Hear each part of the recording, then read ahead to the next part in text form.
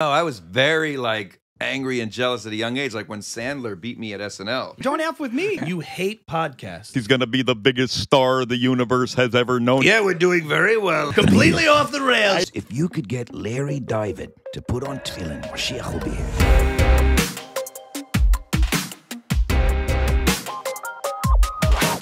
Welcome back to Buckle up, baby. episode 57. It's a party in the house.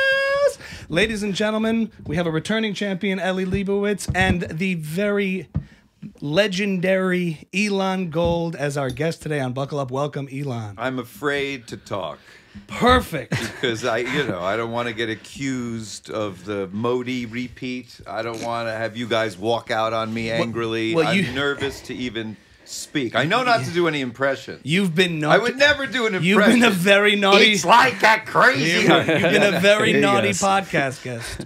I am a naughty podcast. You never know what you're getting. You know, you, you- could be getting Elon, like just the contemplative, let's have a discussion. Mm-hmm. Right. Or you can get the, oh, look at this, Mr. Happy. You know, almost did a Gilbert at me, and I will out it if you. Let's if, outdo if, each other, If you Gilbert. impression me, I, It's like a guy trying to. let me tell. Before I start, Before we start, before we start, yes.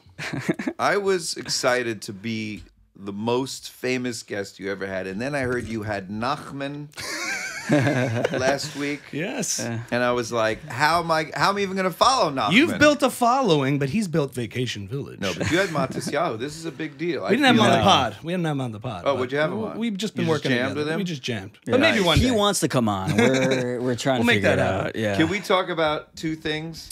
One, I met the lovely Michael because you hmm. I know Ami for years back in LA, Yeah. but I met Michael. And if mm-hmm. you're looking at Michael right now and he puts his hand out and mm-hmm. he says, Michael, like, nice to meet you, Michael.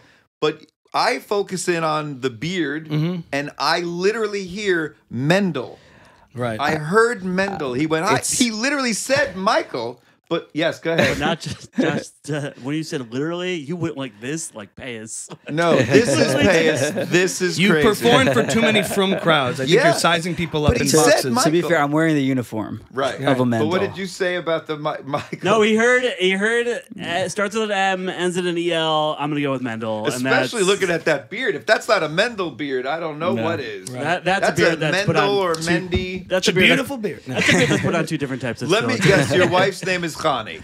No. I am Okay. Close. Oh, because you're not even Chabad. No. Okay, No. it's Just into it. See, now you're just being That- beardist. This is what we're I'm saying. Jas- sorry. it's Jasmine. That's number one. Number two. Yes. You have a lovely place here. Thank you. And Ellie and I drove up from the city, right? Yes, we and, did. and then we got a text park on the street Mm-hmm. not in the driveway it is a 12 car driveway but chas v'shalom as we say Mm. should somebody come home and be blocked The staff. this is in how the- afraid we are For the what is it the it's for the staff? staff. For the Pesach driveway. program inside is. Uh, can we just talk about how how afraid we are of our wives that We can. that you wouldn't let you we had to park on the street I, you know, you don't want to have a podcast show and be blocking somebody. That's all I'm telling you. That's That's true. not a good situation. My Speaking- kids stormed into an episode a couple weeks ago, so we're trying to we're trying to keep a work life balance. here. right speaking of pesach i am at my worst pre-pesach weight And same. Mm-hmm. Yeah, what I usually do is go really down, Yeah. knowing that it's just going to be,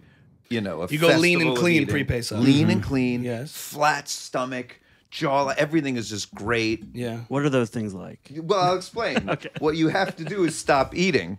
Elon, you're a lean dude. You No, no, no, What I are we concealing that. here? There's a, there's an area. There's an area. You can see There's a there's- boy. Yeah, there's something boy. happening here, and I've got. pa- I is that the think the pouch that- next, the next few days are key to like where are we going after this shawarma? Mm. No pita. Ah, exactly. We gotta just You go low carb. no carb, Right. and then we're gonna do it. Then you go to Pesach, and you just gorge and you go crazy. right. Sure. I used to do a joke about how at these Pesach programs, Mm-hmm. this would be the perfect place to do a uh, instead of the biggest loser, the biggest gainer would Right. be the reality show. Most where you- programs are just eating in different rooms. it's just eating in different rooms. You weigh in when you Mm-hmm. show up, right? And the person who gains the most wins free Pesach Yossi! next year. right? yeah. I, like that. literally, whenever I do a Pesach program and I'm I'm on stage and you do like an hour, Mm-hmm. um, and I'm always like 30 minutes in, I go, I know, I know, it's been a half hour And everyone's hungry. and you're starving. We're gonna, it's going to be over in like 20, 30 minutes. We'll go back to the But tea room. nobody's hungry, hungry. They're just like, it's time. No, they're eating their money's worth. Right. Yeah. It's like we spent 30 grand on this, we're eating 40 And at the end, you taste nothing but dark chocolate and potato in your mouth. That's, true. also, them announcing halfway through the show, the tea room is open. That doesn't help. That never helps. The helps. Pesach program gig, though. I mean, is that something you dread or you love? Dread. How how often do you do it? Every year? Every Pesach. every Shavuos. Yeah. How often are Pesachs? yeah, every Pesach. Is it a leap year? year. Is it a leap Are you a returning I do two a champion? year. Wait, but why do you dread it? Is the real? Sorry, can I ask Yeah, the yeah, question? why do we dread it? because of the conditions are usually children in the front row and i always do the same joke i say okay so you spent 30 grand for a week vacation but you didn't mm. want to spring 50 bucks on the babysitter. Yeah. get those kids to bed it's adult time now we're gonna have fun a show I And then- imagine it's like comedy cruise, like on a cruise. it's like a cruise. That's the other That's thing. the vibe. You're wi- you're you have to live with your audience. Mm-hmm. Now I love. I'm a people person, Yeah. but I don't want to have the pressure of like you're with them all week. Then they you know they talk to you. They say hi, that's nice. Again, I like talking to people. But then it's like, oh, we're looking forward, and then that extra pressure of like, yeah, it mm. might suck. You never know when you suck, right? I like You- that. Live with your audience. You've both sucked before. I've seen it. Yeah. Primarily. you haven't seen You, it. you have a lot of young comics coming up to you going, I just want to do comedy. Oh. And then you end up with an Ellie. end up with an Ellie. How about that's exactly how it's so weird that you say. That's exactly how I met Alex Edelman. Oh, yeah. Alex oh, cool. Edelman came over to me at yeah. a Pesach where he's like, "Hi, I'm Alex. I'm a big fan of yours." I'm like, "All right, kid, get away from me." You looked. You looked straight over him. For, The for the truth is- Alex always has a cold. the truth is, I was very nice to him, and I like sort of mentored him. Yeah. and now he's more more popular than me. So I'm not mentoring Yeah. anyone else. Uh, well, Ellie, you, are you and Ellie working together? You know- Absolutely. yeah, Ellie and I, what- first of all, Ellie is a great comedian. Yeah. So I always have him be like a special guest on my shows when I'm in New York. And also you, Ami. Mm, thank you. And we write together like regularly, like a couple times a week. We will riff on the phone. We'll talk for an hour or more and Mm-hmm. just riff. I'll go over bits. He sometimes does bits. I'll give him a couple tags. Cool. But you know, he's he's a great writer. In fact, Eli Leonard just called me the other day. Goes, that Ellie Lebowicz is a great joke writer. And Who's Eli Leonard? I don't know. who that You should Eli? know Big Eli hair. Leonard. He oh, looks like Simon and Eli. Garfunkel. The guy, We who- like Simon. I guy like who Eli. easily I could like have played Eli young. Larry David on Yeah. Well, Curb. I wanna ask has you- what you have here. He has on his here. head. Yeah. yeah. and he's as I think he's as cynical and angry as I am. Also, Yes. Yeah, what are you yeah. so angry about? It's a good question. I've had, I've had a lot of disappointment in the last couple of years. Really? Yeah, I wasn't so angry. But I was more optimistic before that. I'm a little. bit I'm more cynical than I've ever been. Mm-hmm. If you could name but I've been working biggest on it. Disappointment so far in the last couple of years. What was it? I I was working. What was her name? he was working in the teeth I, I whitening did sell industry. a TV show that I, that I was that I that I dreamed of selling. Okay. And it, it was sort of the That's first. big. Yeah, yeah, and and now and I've I've realized since then Right. that's just how it is That's how it is. It's happened to me 19 with times. everybody, right? Look I wanna ask you- yeah. Am I cynical? I- I, am happy. I want to Yeah. ask a few things on So the. ha- yeah, go ahead. Finish it up. Oh no, I, I want to hear how he's happy, but it sounds Yeah, like you have a question about yes, that. yes, yes. Yeah. I want to hear the meaning of life. Well, because we've we've we've covered a, a lot of things, a lot of things, but uh, uh, Who on are the you doing? Who are you just nothing, doing? nothing, Was that uh, nothing? Were you trying to get? we have attached nodes to Elon's You testicles, we and if you do an impression, it's gonna zap him, zap him. we you know, covered a lot of things. There's actually a dog you know, you've added in a little bit of some grit to it. I've noticed. Yeah, we're doing very well. Little of the nasal. Well, it's gotten a lot lower. He's ever aged. when, he, when he's aging, it's gotten lower. It's gotten Fantastic. lower. Listen, Elon, I warned you. If you triggered, if you did this, it's going to be a chain reaction, folks. Oh, you're Are you doing. guys doing oh, Alec it's gonna, Baldwin? it's That doing is Alec wonderful. Baldwin. It's gonna oh, completely off the rails. I knew Elon it. goes I compl- knew- totally off the rails, but we love it, folks. We I love it, recognize folks. that I impression. performed last night for a thousand Persians. Oh, boy. Last night. a thousand night of a Persian Persian people. Where was that? It was at in the, Iran. it was at Tehran. You've uh, seen the protests. the Tehran Yuck Yucks. Um, no, it was at the uh, Take off your hijabs. It was at the North Shore Hebrew Academy Wow. in Great Neck, where so in Westwood in LA Sure. we have the, the Persians in, in Westwood. Here in New York you have them in Great Neck. They Mm-hmm. tend to congregate, and uh, there was a thousand of them almost last night. Right. And That's a lot of free tickets. no, that's and I even did that joke. and they wanted you hanged afterwards. I said that in living in square. Westwood is the worst thing because when you're sort of a public figure and there's like an advertisement of a show, Yeah. you can't walk from your house to get into your car without a Persian neighbor coming over and you go, "You have ticket for me? for me? You know, just for me. How much is ticket?" You have discount code. If I buy ticket, will you upgrade? If I buy, I can do that. I all Is buy. day. that, is that why I Tehran buy has an H in the middle? Because Tehran. It's Tehran. Tehran. Tehran. Descendant. Descendant. How much is ticket? One, two, thirty, hundred, thirty, hundred. Yeah. So I did my little Trump last night. Yes. But it's very different when you do Trump in like at the comedy cellar Yes. where everybody hates Trump Right. and they're sort of cheering the impression and yeah, make fun of that guy. You led a rally last night. didn't this you? was a Trump rally where I start doing it. They start applauding. They love Trump so much. I was like, and, oh, and then I said this. I go, you know, the Persians they're doing very well. They came in, they didn't have anything, they had nothing, and they bought a lot of buildings. They bought a lot of buildings. Yeah. I don't know how they did it, but they bought buildings. They came with nothing. they probably have more buildings than I have. They have more buildings than I do, and they're doing fantastic. Well, And the Persians were like, what?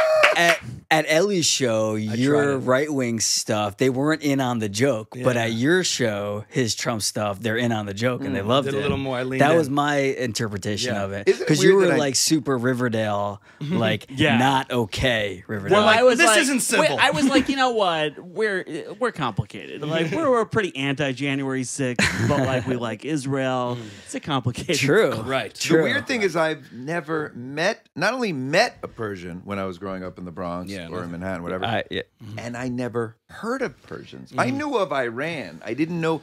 I a I didn't know there was a Jewish version of an Iranian. Right. I thought Iranians were all like either Muslim or whatever, I mean, we thought it was all Sephardim. all Spartan. But like then you go to LA and it's all Persians. It's and Farsi on the stores. Yeah. It's a different level of Persian. It's crazy. And now I have to go to Panama to hmm. perform for the Syrians. Hmm. I don't have as much Syrian Not the material. Could you help me? We, mm-hmm. we got to talk on the phone tomorrow. What do I talk about? The Syrians, there's not much. They don't accept converts. Maybe go there. Oh, that's is that true? Yeah, I think They're, so. they're proud people. They say s- sa- sabat sabat. So, uh, I don't know. so I don't know. I don't know. Where You have jokes. Women get got- marrying the you know eighteen year old girl marries the thirty year old sh- guy. Right. schmatas. You have stuff. They work in Alright. schmatas. What do you mean They- schmatas? Like in the fabric business. Oh, they're all in that's, the that's the schmata stereotype. Yeah. They're all Well, white Syrian passing in a way. its own- Syrians are a lot of Syrians are white passing. Are I, they? I like to say about Syrians, it looks like God created them from all new parts, and we're all like used parts. That's so funny. They're very, they're like, they're very, they're You very giving that to him? clean. They're very That's good. a Yeah, you can have it. I'm doing that. We'll, we'll take it out of the episode. By the way, You can have it. yeah, yeah, yeah. That's a great joke. Great observation. I want to ask you about um, Oh, let me ask The you something. See, now this is I'm gonna Wait, do, eh, nodes. Fire the testicle No, I'm doing Jay Leno because Let me ask I, you something. I Let me ask you love something. when people interview other people. Yeah. And instead of just asking, this is what Jay did all the time. And I did the Tonight Jay's Show. a friend. By the way, Jay's a friend, and I did the Tonight Show 10 times. Not important. But uh, I'm here now in Englewood, Yeah. folks, Yeah. talking to Mendel. Getting shawarma without a pita. yeah. Getting shawarma without a pita. staying lean for pain points. Really. But Leno would always, instead of just asking, you know, where you're from. Well, let me ask you something. Let me ask you. Let me let me ask you. Where, where, where, where were you born? Just ask the damn question. okay, Elon. go ahead. You have said you hate podcasts, and you said you're the worst podcast go uh, Host. podcast guest. Guest No, and the host. goat. That's what. No, you no. meant. You said hold on. The You worst- said the worst You goat. told me once. You said I hate podcasts, and I said why, and you told me I don't like something anyone can do. That's true. Okay. Now That's fascinating. I thought about that. You think said this? sh- I know. Yeah. You think this shit comes easy? I, I wanted to ask you, Mm-hmm. and I want to dig deep on that because I do think We're gonna dig deep. the real reason why you may have an issue with podcasting Mhm. is because you are you're like very much into the craft of joke writing. You come from this old school process of yes. really tight, well crafted joke writing. Thank you. and you I've seen you backstage listening to punches that you've yes. like added to jokes and watch them land and you really get off on that. So what is your take on sort of the new landscape that is vibe comedy that's been kind of going on Yeah. in the culture right now? I'd like to hear your opinion on it. So I love it, but there's so much to unpack there. Yeah. First of all, any vibe comedy that's good, like like when I was growing up in comedy, there was the alt comedians, Mhm. and most of them were not good because they literally would just tell stories and just Mm-hmm. be hip and cool and alty and not worry even about the funny or the Were they punchline. mainstream? No, like some of them Like went to, who? onto Like who? mainstream. I can't name names. Oh. I just said they're not funny. but Fair there was enough. an alt world. There was a movement. was it then. like the the Mr. Show, like the David Cross type Uh, of scene? so so for Not the, to name names, I just right, want to no, know what you're talking about. for talking the about. record, there were people like Zach. I mean, I grew up with Zach in comedy. He was Galifianakis. Galifianakis. He was all, but always had jokes, amazing jokes. Yes. Let alone his acting is like incredible. He's like one of the funny. He's like Belushi funny Mm-hmm. Yeah, yeah, on yeah. screen. He's like Richard Pryor, Belushi. You look at him and you're laughing Sure. before he opens his mouth. Essence of funny. He captures an essence. So there was there were people like him, but then when there were the ones that just would tell stories or just thought they were cooler, hipper than the room, and just would like Mm-hmm. not care. So I,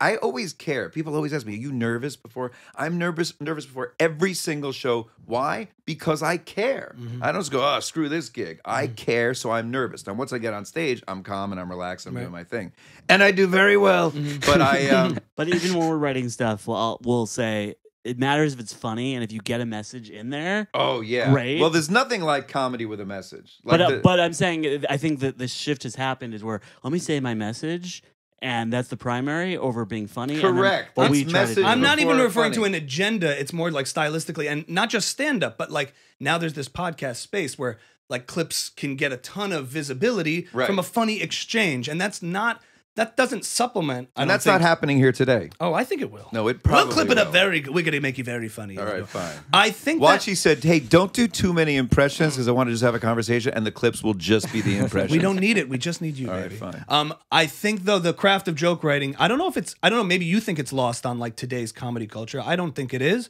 but I'm curious because maybe is that what you resent about podcasting, or do you? I'll actually, tell you or what. just- I'll get into what I resent about podcasting in a Yeah. second. Yeah. But you look at just look at the different, like the biggest comedians now, Rock and Chappelle. Mm-hmm. Okay, Chappelle can riff Mhm. for hours and will find the punchline as it's happening. He's that much of a genius. Sure.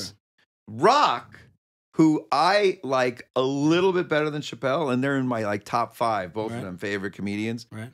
Rock is such a master craftsman, cares about every word, and that's special. I actually watched live three times Yeah. and went to both them, him and um, Chappelle. Mm-hmm. They were doing arenas, and I went with Tony Rock, his brother, is a good friend of mine, and we got to go backstage and hang with Chris, and that's just amazing Mm-hmm. to watch him. You talk about Ellie always makes fun of me, like before my stand-up New York shows. There's Mm-hmm. like 110 people in the room instead of 30,000, and I'm literally just going over and like so focused Mhm. On a stupid index card with bullet points and trying to get the new things we just wrote an hour ago into my head. Rock, who you would think not only has done this forever, is the master, is the best. He literally just stands and he stares at this big board with all his bits on index cards and he just looks and he's like, Some of these aren't gonna make it tonight. Like some gotta sit on the bench. And the bench, what was that? Like he's like Southern now. You gotta sit on the bench. uh and that was fat. I was like, wow, Chris Rock, who's doing an arena tour, still is studying. Christian rock is what Chris Rock actually stands for. That's funny. and I told you to whisper me the Sorry, funniest lines you have. But it's interesting. No, he's oh, he's talked about also the joke. It's you got to have the joke, obviously. Yeah. And but by the way, and then he's relaxed and he Um, Yeah. hangs and everything, but just his process. But back to podcasts, Mm-hmm. okay? My resentment about podcasts. Yeah. It's I think it's what I said perfectly. Don't do something in life. Take this as advice. Now we're Gary V'ing this. Uh, that's some real shit. Keep going. Don't Don't- trigger me. Oh, oh, Yeah, oh. now you watch out. Only I'm not allowed to do impressions. It's my show. yeah. Yeah. Don't do something anyone can do. Find out what you have sort of either an innate talent Mm-hmm. or th- that you're good at or that you can work on and then try to be different, unique, original. So when the notion of anyone and their mother and literally everyone and their mothers Mm-hmm. have podcasts. My brother-in-law, he sells suits. He has a podcast. He and I shouldn't be doing the same thing with our days. He should be selling suits. I should be telling jokes, writing jokes, being funny on whatever, acting. When you're selling suits, when your kosher butcher has a podcast, it's it's it shows that you know what's the Liam Neeson a certain set of skills, right? There are no skills. You just have to talk. So every Yenta has a podcast. A certain set of skills. Yes, there you go. You're trying now. I was thinking the Butcher's podcast. Go, Welcome to the Real Kishkas. So it's just like to me, you know, I admire. So I'm a great admirer of talent. Yes. I think because I have a little bit of it. I'm not trying to be modest or not humble. or boast. I definitely recognize I was born with talent, like you were, not you guys. Hmm. And by the way, we're going to get into you because what you don't realize about this whole thing, and I've thought about this knowing I was doing this, this is not going to be an interview about me. This is not the, hey, Elon Gold's our guest. Mm. I'm flipping this and I want to interview you because I've been fascinated by you mm. for years. Mm. And really, I just want to interview you. Interesting. So we're going to get into that. Fire up the nodes. We're Yeah. gonna, we're gonna get into that. This is an that. interview show. It's an interview. That one I'll get. Wow, that was nice. Hey, the real Kishkas also I like. Welcome back to the Real Kishkas. Today's recipe for chilling beans and the rockin' spices. Lots of gas. Um, so I so I admire. I remember when someone, my friend Mitch Kuflick, he like we just met and then he sort of befriended me and he's mm-hmm. this great guy, and he's like a big hedge fund guy and whatever. Mm-hmm. But I, I kept saying to him like, why are you you know what, what what's this about? Like why like what's this like? We're like becoming good friends and you're always calling whatever. He goes, I admire people who are like top of their game, best at what they could do, and I think you're one of the top. Blah mm-hmm. blah blah. And I go, that's so funny. I have that too. He goes, it could be a tennis player, it could be, you know, a guitar, any anything. If you excel, if you have some sort of talent, so I admire talent. Like my, the most talented human being on earth right now is Jamie Foxx. Yes. There is no Big- one. Ah, he's my. I mean, there is no one that could sing, dance, play piano, There's act one more with person. precious, and a trumpet precious. and does a perfect trump. There's one more. Who? Who? Oh, besides you, yeah. And it's like so. Well, By the way, I just found out last week Jamie Foxx is following me. Hey. Not important. Anyway, um, and you said you didn't have talent. talent recognizes talent, but uh, game recognizes game. I think I met him a couple of times, but like briefly, not like a let's hang out. But all I know is I, you know, man, Elon go da, da, da, all those impressions, man. that's good. Um, All I know is a podcast yes. takes no talent. So when I saw this explosion of just everyone speaking into a microphone that you just go buy at Radio Shack or where, wherever the kids are buying this stuff now. Radio show. Yeah, you know. a very Oh. dated reference. Yeah, you, yeah, you could tell how familiar he is with Yeah. the landscape. So you start to just resent that, like, why is everyone in show business?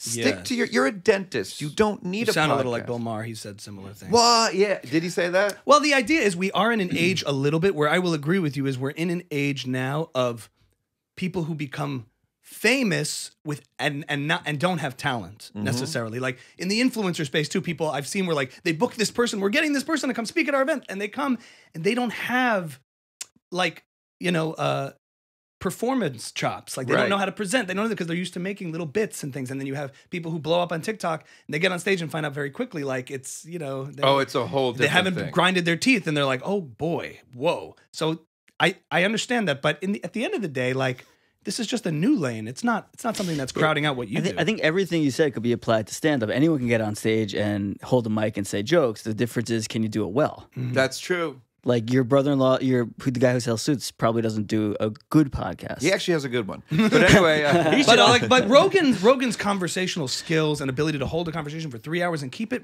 pretty interesting. oh, but Rogan's amazing at it. Well, but right, that's yeah. the that that is also fascinating to me. so it's the saturation that's bothering you of like everybody getting in on a space that they think they can have a take on something and it's really not that interesting. Yeah, it's just like not everything has to be broadcast. Like it's the Facebook or Instagram picture of what I'm having for lunch. It's just a sandwich. I don't give a damn. Mm-hmm. Don't broadcast. But now it's if you didn't post it, it didn't happen. well, That's here- the age we're living in. Here's my thought also. I've always thought Friday night meals are the funniest times of the week.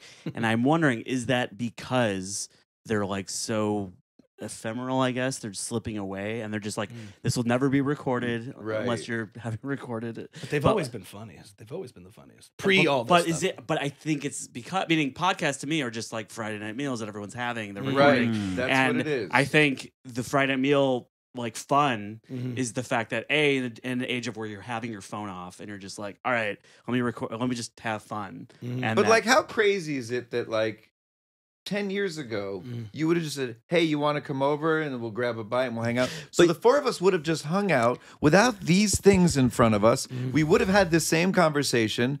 But now suddenly everyone wants to listen to this. How many Yeah. people are listening to this right now? Let's be honest. 12, Thousand. Oh no no no no No, I'm joking. This is a big one. I know. But we, we probably big. wouldn't have gotten together. I wouldn't be here. right? Exactly. Well, Yeah, because of all that Ami's paying us. Right. Yeah. There, we're, we're we're all listen. I, I think there there's this element of it feels like we're just hanging out, but we're. I mean, there there's gems and nuggets of. I think there's You never know. not to mention. Look, look in the world of in the world of comedy, right?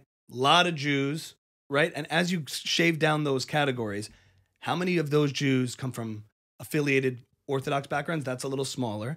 And then how many of those Jews come from Orthodox backgrounds who are no longer practicing? That's a little smaller.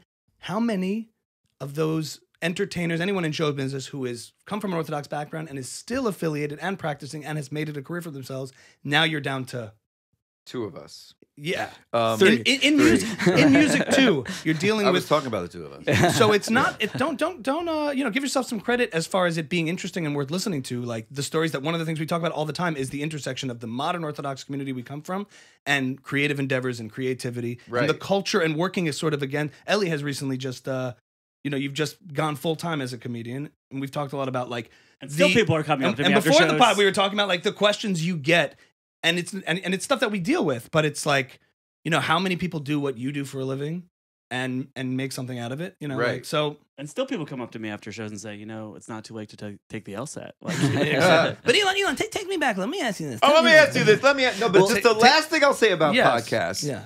It's again like the tennis now. There's Serena Williams, but Mm-hmm. then it's like, so should we all not play tennis because we're not that good? Of course we should play tennis, but we shouldn't play it publicly. Mm-hmm. Right. That's my point. yes, of course we could all talk. Why does it have to be pub? Why does everyone? No, we should because otherwise we're it's ping comedy. pong. Right. Otherwise it's Honestly, the grind and effort of it all will filter most people out. I think. I don't think you Okay, have to fine. worry about it. Pl- Yeah. Plus, it's also nice. Like Ami, if we were out to lunch, wouldn't just ask you. So Elon, tell me about podcasts. Like it's nice to be able to ask a friend questions that you wouldn't ask during That's normal true. conversation. Like mm-hmm. you can interview Ami now. Mm-hmm. oh, I'm about to. Yeah, and I want to hear. I want to hear what you're thinking, mm. and that wouldn't just come out over a Shabbos That's meal. true. And how many nice, times I have you also been like wrong about somebody where you're like, oh, what are they doing? And then you're like, you know what? That was he's he's doing something. And Right. I, I, you know, I think I wonder about that. Like I- in the world. I also yeah. think having having a particular angle of what your podcast like. I love, That's different. I love the "Are You Garbage" podcast. Yeah. Right. podcast I started listening to where it's like how trashy was your upbringing. Right. It's like okay, this is a particular angle that is unique. Um, also, I was thinking that your uh, Mitch Cufflink guy should do a podcast with- Cufflink? beyond your beyond your suit, your brother-in-law suit podcast. Yeah, What's his name? Cufflink. Cufflink. That's all I was So thinking. what- what whole you he gets a penny ask? every time you put one Well, on. there's two. There's two big questions. One is like, how did you deal with over the years? Jew, I distinctly heard him say Jew. How did Jew There it feel? is. Fire up the nodes. Max, he was just saying, how stop. did you? You need to stop that. Ma- I, Ma- s- I see you're Woody Allen and I raise you Jordan Peterson. Don't F with me. And by the way, Jordan Peterson, like way better than Woody Allen, Well- because it's original. Everyone does Woody. It's easy to go. "Mm, This is crazy. Take me to the back in the day. These were these were fresh. These like uh, Well, these I uh, that's the thing, and then we're Yeah. gonna get to you. I always prided myself with doing impressions no one else is doing. Mm-hmm. So if everyone's doing Jim from Taxi and you know Ronald Reagan or Johnny Carson, Yes, yes, yes. yeah, it's like I'm like I'm not gonna do that. It's Yeah, hack and it's yeah. not. So I would always find the people no one's doing. Right. Jeff Goldblum. Right. This is before anyone did Jeff. Like everyone literally ripped off my Goldblum. you cracked it. You cracked it. And that's the thing that people Yeah, don't realize. See, you do impressions. They don't realize you have to crack it. Yeah. You have to. It's an observation, just like a stand-up bit, Right. where you're making an observation observation on human behavior. But this is an observation on one human's behavior Right. and on his cadence and rhythms and Yeah. and how he speaks and vocal. And when you crack that code, it's so easy to mimic Yeah. what they figured out. right. And so I never wanted to steal. Like it, like the only impression I've ever stolen in my life is Michael Caine. Mm-hmm. Because I saw those two guys on the trip and they kept doing it back and forth and it just looked like so much fun. And I just immediately I don't like when people steal impressions from me. I don't like that. Anyway, so that was like it just and I didn't steal, you just absorb it. Michael Caine. Yeah. But you know what I do on stage? If if I'm ever bombing, I just I just say this. I stop and I go, "Okay, that didn't work. Here's one you will like." Here's Michael Caine saying either his name or his drug of choice. My cocaine.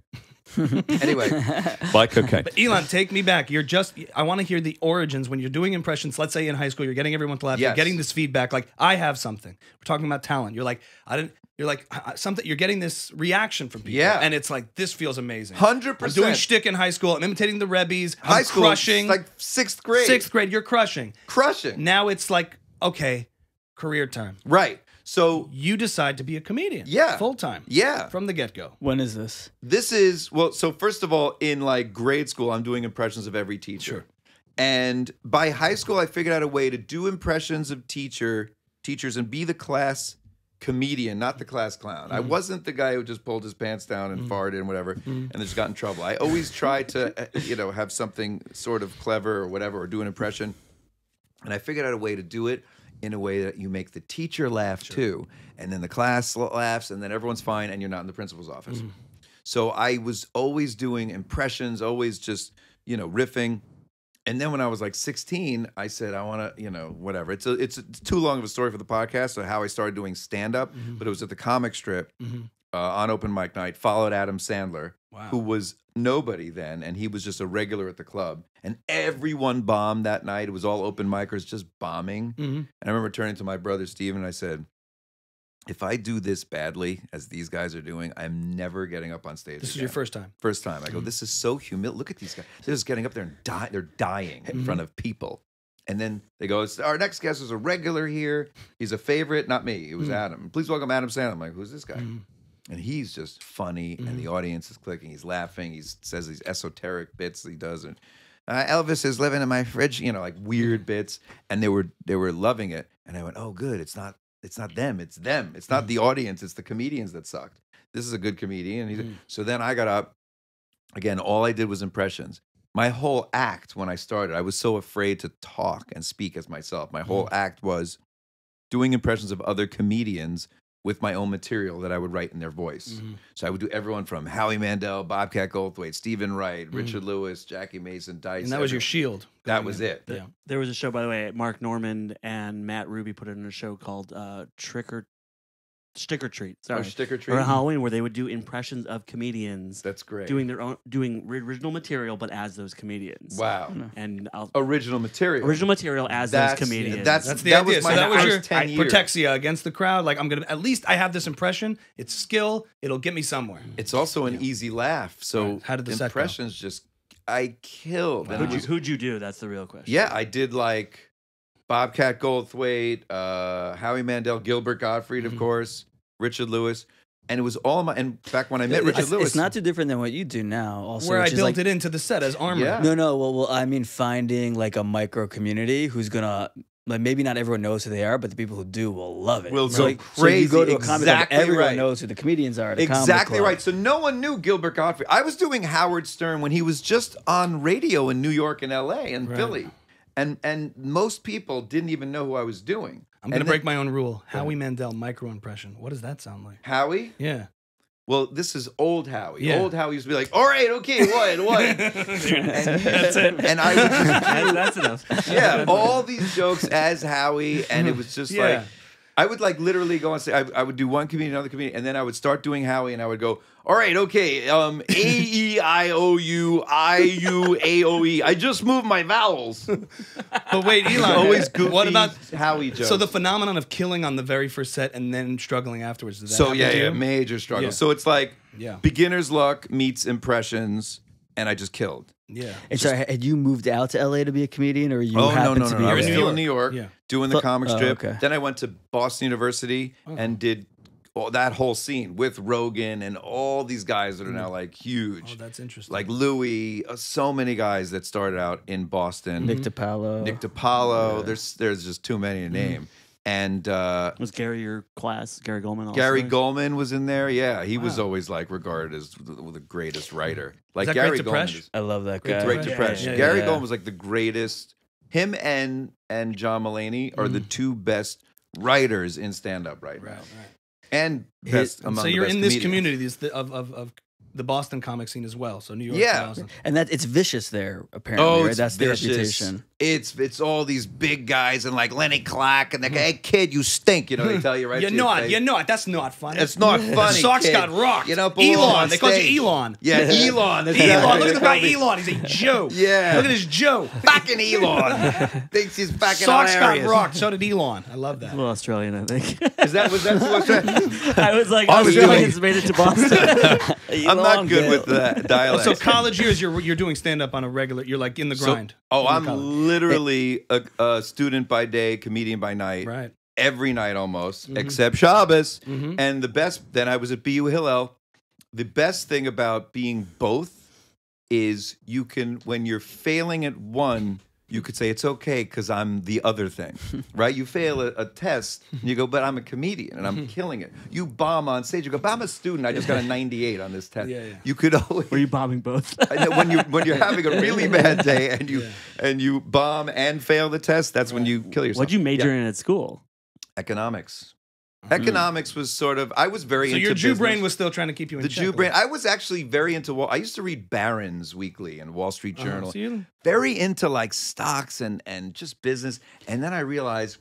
A, the lack of control that you have in the market is painful. You have no control over it. It's so volatile. The money's never, um, economy's never been more secure than right now. Right now, it's perfect. But like you just, I, I and I and I, I also just have this creative brain. All I really wanted to do was was write jokes and tell jokes. That's all I wanted to do. Were you were you being pushed towards like a stable career and you, and you were like Good fighting question. internally? Or I were- have showbiz parents, so Okay. they were like my parents were teachers, and Mm-hmm. now they're you know now they're retired, but they they started as teachers. But then my younger brother Ari started singing on these jingles on commercials, Mm-hmm. and my father started like managing him, and all these other parents would be like, "Oh, my son and my daughter can sing. Well, how do how does your son? Like, They're on all these commercials."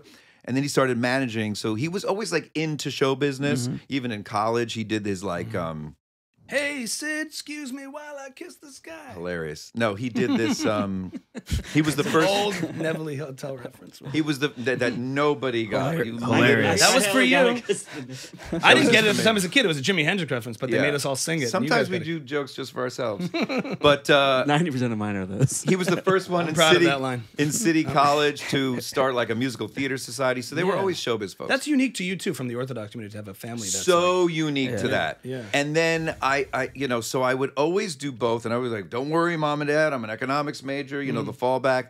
But but uh, in at, at 20 years old, I'm like a junior, so, sophomore in college. I bought a Lexus from doing gigs up and down the East Coast. Like I would go do colleges in Maine and New Hampshire, and literally just run around. And to buy a Lexus at 20, my parents were like, "Oh, he's already successful." Meanwhile, you were booking college gigs. booking college gigs constantly. Meanwhile, then it's 30 years of struggle. Right. Was then there, was there 20 NACA back then? Was yeah, NACA? you would Yeah. do these conferences. yeah, It's yeah. the most humiliating thing. You do a conference in front of like to get booked. 500 college kids from different colleges, and they just sit there and they decide, and then you sit in a booth, and they come over to you and they just walk by and go, and then they walk. To To decide if you have a salary that year. It's basically it's basically a Pesach program. Pete, Pete Holmes showed that on his show Crashing, I think. Yeah. Did you see Yes, Crashing? that's right. Yeah, showed the yeah. NACA conference. Did I Yeah, see? he's on it. Did oh, He's on I it. Oh, see? you're on it. Did I see? Matt, go do crashing? your research. That come on. episode. What do- what do you think? What do you think of that episode? I thought it was great. I thought Yeah. Crash was an amazing show. Pete's a course. great guy, brilliant guy. No, no, no. I really, I've done. I love the shows- show. I love the show. No, no. I've done Yeah. Mm-hmm. shows where I go that that was the worst show ever. It's not just because I was on it. It happened to have been a very. It was like the most authentic version of what comedians go through. Right. Every other show is not real. know, it's yeah. just The baloney. fiction, it's hard And to fictionalize and it. they It doesn't nailed the capture. Jewish, the Jewish like the scene Jewish of it, scene. of like How about Well, Estee playing Estee? like you don't get non-actors to be in an HBO show, but then Estee, who books the comedy shows, is a legendary figure. they get Estee. That's how authentic it was. Yeah. Who are the two hot Jewish comedians? They get Elon and Modi. They didn't get Jonathan Silverman to play Elon and Right, you know to base it off. off Right. your It's they get the real deal. You, you know, Were you guys supposed to be versions of yourselves? Versions virgins of ourselves. versions. Do you know? You want to hear an interesting? you want to hear an interesting fun fact about me? No. And I'm working on a bit about. we- are we supposed to say yes? Uh-oh. Are you ready? for Rabbit this? hole. Yeah. Yeah. Fun fact about me: I am a virgin to the world, Mm. That sounded more profound in your head. except one. But I am a virgin. Do you know how many how many people can say they are virgins to the world, other than Ellie? You have to I don't explain that. understand what you mean. All right, You have to ex- you have to explain that unless that was all a setup for. for You a meant date. he No, only no. slept with one person. Well, try to figure it out. I think that's what you Yeah. mean. Oh, yes. I thought this was a well, show. I thought this was a showbiz, Is that showbiz thing. Because I, while, while you were telling the college story, I was actually thinking to myself, he must have had have so much sex in very college. well. He, he did Yeah. everything but. That's hilarious. no, I, I had the That's pretty- girlfriend that's now the wife during college. Really? Yeah. So I am. So when you said were you virgins of yourself, I just thought, yeah, I am a virgin of myself. I'm the I'm a virgin to the world, and there's got to be a bit about it because. It's the opposite of most bits are relatable, mm-hmm. and you mm-hmm. always want to relate to the audience. Like, yeah, that's like. Have you ever said that on stage? what? What you just said? I have played with it, Right. and I, I and I've Did tried. he You know, say like he was that. a virgin? yeah, that's what happens when you're a virgin. You just play with it. Yeah. So I, uh, but I, it, there's a big bit in there because the it's the opposite of the I can relate to that. It's the I can't relate to that. But what a personal, interesting thing that he's revealing. Mm-hmm. Yeah. That uh, he's had a terrible life.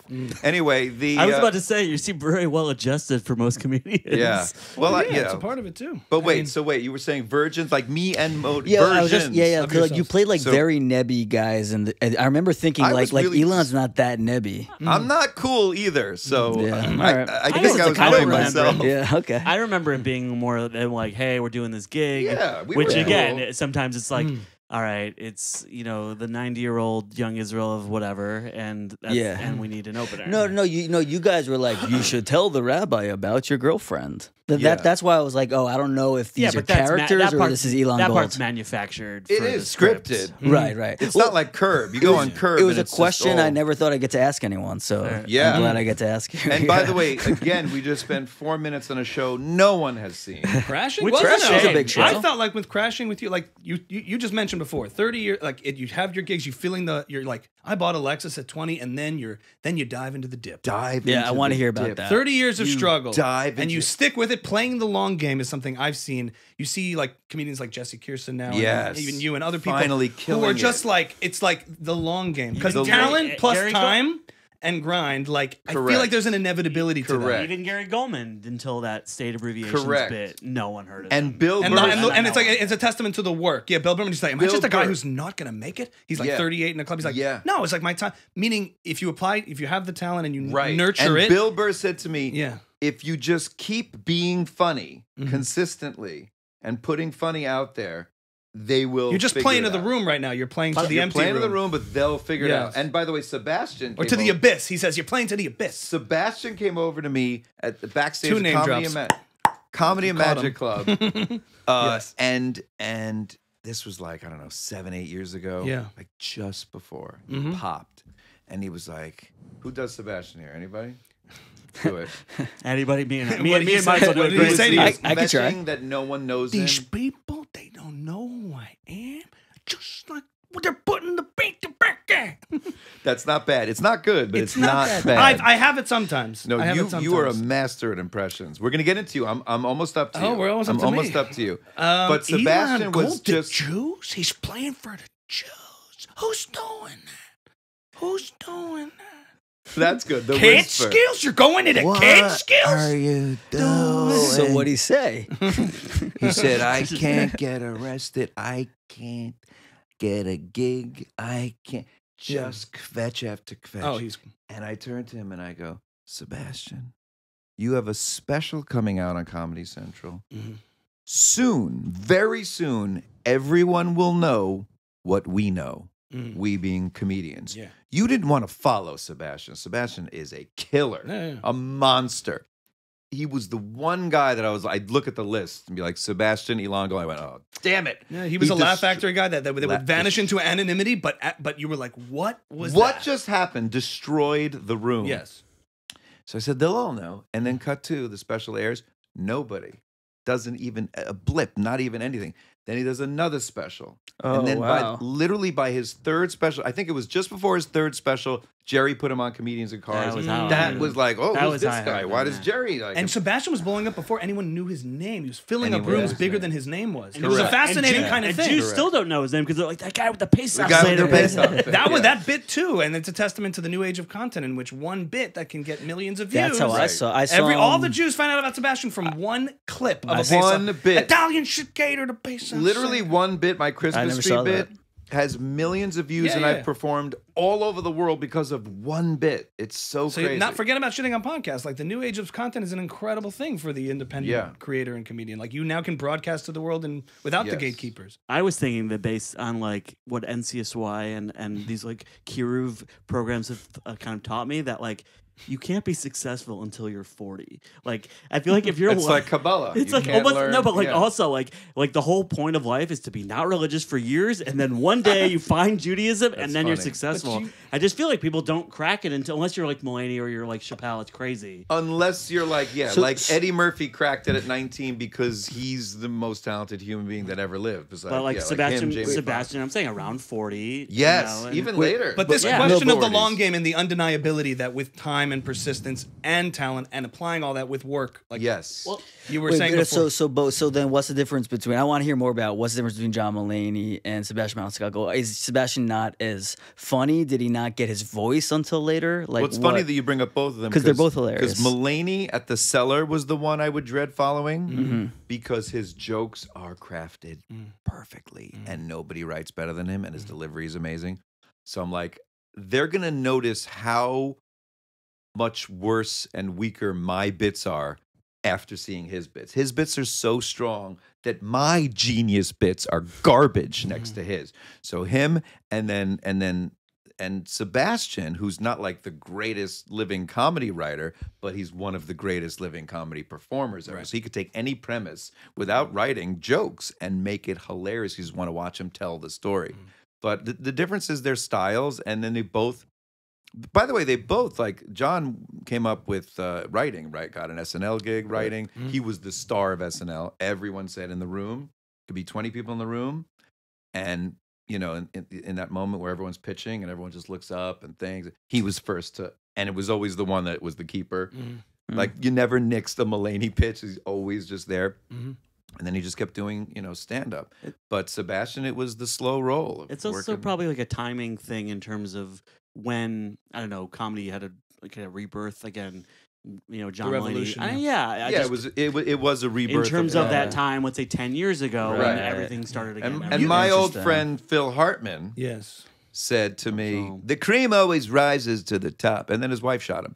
Um, You've also come from the age of gatekeepers. Like you were, oh yeah, like you're in, you were in a world in your early days of like the only way to do this is The only to be allowed.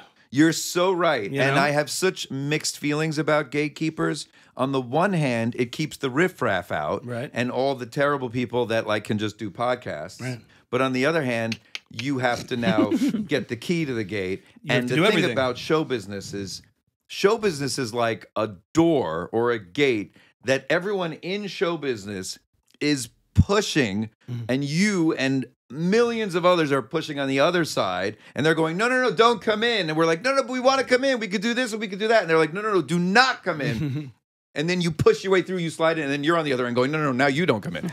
But it's like but but gatekeepers are also the most annoying you i hate with a passion studio execs Yeah. network execs because the amount of tv shows we've tried to pitch and develop they buy the script and then the pilot and pick it up. Everything They almost up, they- happens. everything almost happens. It's all because of gatekeepers because they don't have vision.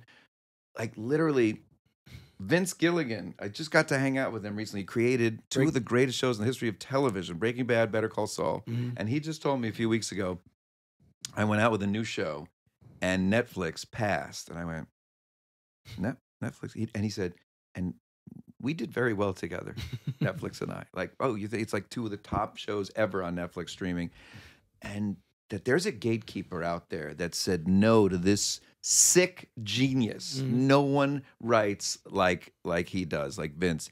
And that there's someone out there to say no. Now, of course, he goes, Well, I got five other offers and we're making the show and blah, hmm. blah, blah. But how could anyone? Cry say me a river, but- Vincey. But, I know what you mean. Like, but- the, why are they why are they risk averse to a Vince Gilligan? But also, even at the beginning, because I feel it's the same conversation that even at the beginning, that unless you have enough confidence, they're like, okay, I know your internal comic is like, I know that I am a good joke writer. I know this Right. is great to keep doing it. I mean, what's let's I don't know, HBO. I think passed on Mad Men. Yeah, no, everyone passed on Well, everything. But isn't it a So- beautiful no, thing well, that it's but- but you disintegrating? need enough- that whole you power need I love that it's disintegrating. There is no Hollywood. You do it yourself. Yeah. So- Well, no, what I like about it is is because the, he probably got to know not because it's not good enough, but it was just like like you're you're in sales. It's like a business decision. It didn't work for them on a business level. Maybe, but but how? that- Not 'cause but it's not that's good insane enough. That's Because insane. But you don't insane. know the It's- it's internals. Maybe they're, in they're suffering with other shows and competing. Oh, that's going to Yeah, cannibalize yeah, this yeah. show. We have this one You coming out. know. Some exec hates this person who works on the show. We're the only fact allowed is- one New Mexico show every ten years. But you don't know the reasons. That's the whole point. But it's the all non- fact it's all is nonsense. that gatekeepers also inhibit your ability to use your talent for good to its fullest capability to develop fun TV shows. To you Yeah. know, gatekeepers just and and and they just they kill you. And rejection is every single day. Every day you get rejected. It's an audition. Mhm. The casting gatekeepers, the producers, whatever. It's network executives. You don't get parts. You don't sell shows. You don't sell scripts. Whatever. And it kills you. And the only thing that keeps me going is even if I get rejected again during the day, at night I go up and destroy a club or Mhm. whatever, an audience, and then go, oh yeah, they were wrong. Mhm. Like literally, you get no, no, no, we don't like him. He's not funny. Mhm. Click, and then it's like, oh no, no, those thousand people just gave me a standing ovation, like last night. But anyway, the craziest It's a similar thing is- when a video does well and everyone's like, "I'm loving." it. I'm like, "Wow!" Like the, the fan interface to what you've done, right. pr- you know, like you don't need any more proof than that because that's what you're trying to get to. And this middle man, infra- this behemoth is dis- is losing its. When I Power. heard that uh, Jerry Seinfeld couldn't sell comedians in cars Mm-hmm. after the show, Seinfeld. Mm-hmm. I, I'm going to say that one more time. So Jerry Seinfeld does a show called Seinfeld, the biggest show in the history of television, the most lucrative, the most widely watched. Like it made two billion dollars for everybody. Mhm. And he went to all the networks and all the cable, and they went, "No thanks." If Jerry Seinfeld sat at a pitch and went, "I'm doing a show about pooping. Mm-hmm. I take a poop." Wait, wait, wait, Jerry. So you're just gonna crap the whole? I'm just gonna crap. What's the deal? What's the deal with poop? But, but but is it going to be like different kind? Like one day you'll have like a loose kind of a diarrhea ish, and one day maybe you won't be. Like you'll be constipated. Like we'll mix it up. No, no, I'm just going to poop, Mm-hmm. and uh, and and I'd be like sold.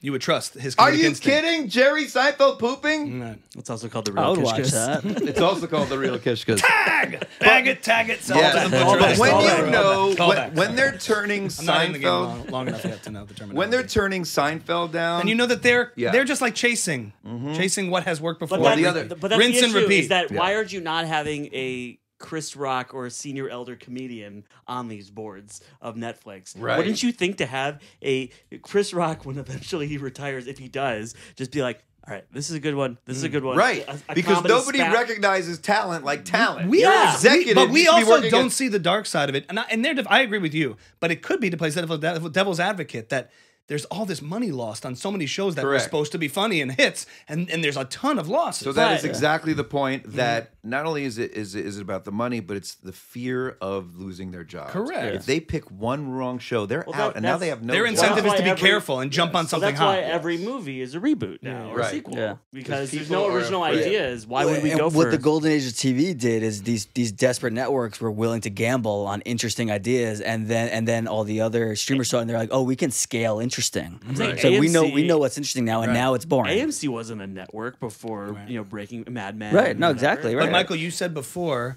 talking about like we're talking about failures and like dealing with disappointments and that stream of rejections that lead to ultimate successes um, over the long term.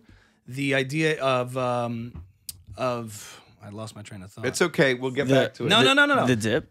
N- the dip. But you were saying that uh, Rejection, rejection, rejection. oh, you'll remember this when I tell this story. I love when people come over to me and go, it was a good one. I, oh, you'll get it back. If you Yeah. don't think about it, Yeah, it'll you're come right, back. you're right, I love when people come over to me and they go, I don't want to um, swell your head, Mm-hmm. but you know, you're my favorite, whatever. Or I, I, I, I, don't want to get your ego big, but you're hilarious. And I go, you you don't need the first part because my life is just rejection. It's just 30 years of rejection. Right. You can get right to the compliment because these compliments are mean a lot to me and they're very important to hear because if I don't Ah, hear it from I you guys, it. You I knew right. you'd remember. Here it. it is. If you don't hear it from me, oh, let's do it before you I lost it. Um, we have this debate. I tend to get very encouraged by other people's success because when people finally succeed in a grind, I'm like, it's possible. There you go.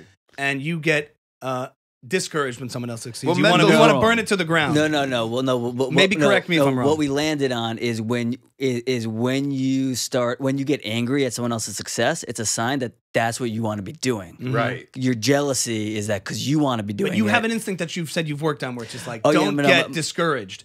I want to like so the question ultimately is is like when you see someone you came came from the school of people who've gone on to become huge and it's like is that encouraging or discouraging? Both.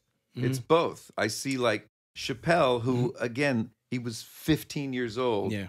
And Barry Katz, my manager, Mm. brought him in from uh, DC Mm-hmm. and found him in DC and said, You got to come. You got to come to New York, man. Do you know Barry Katz?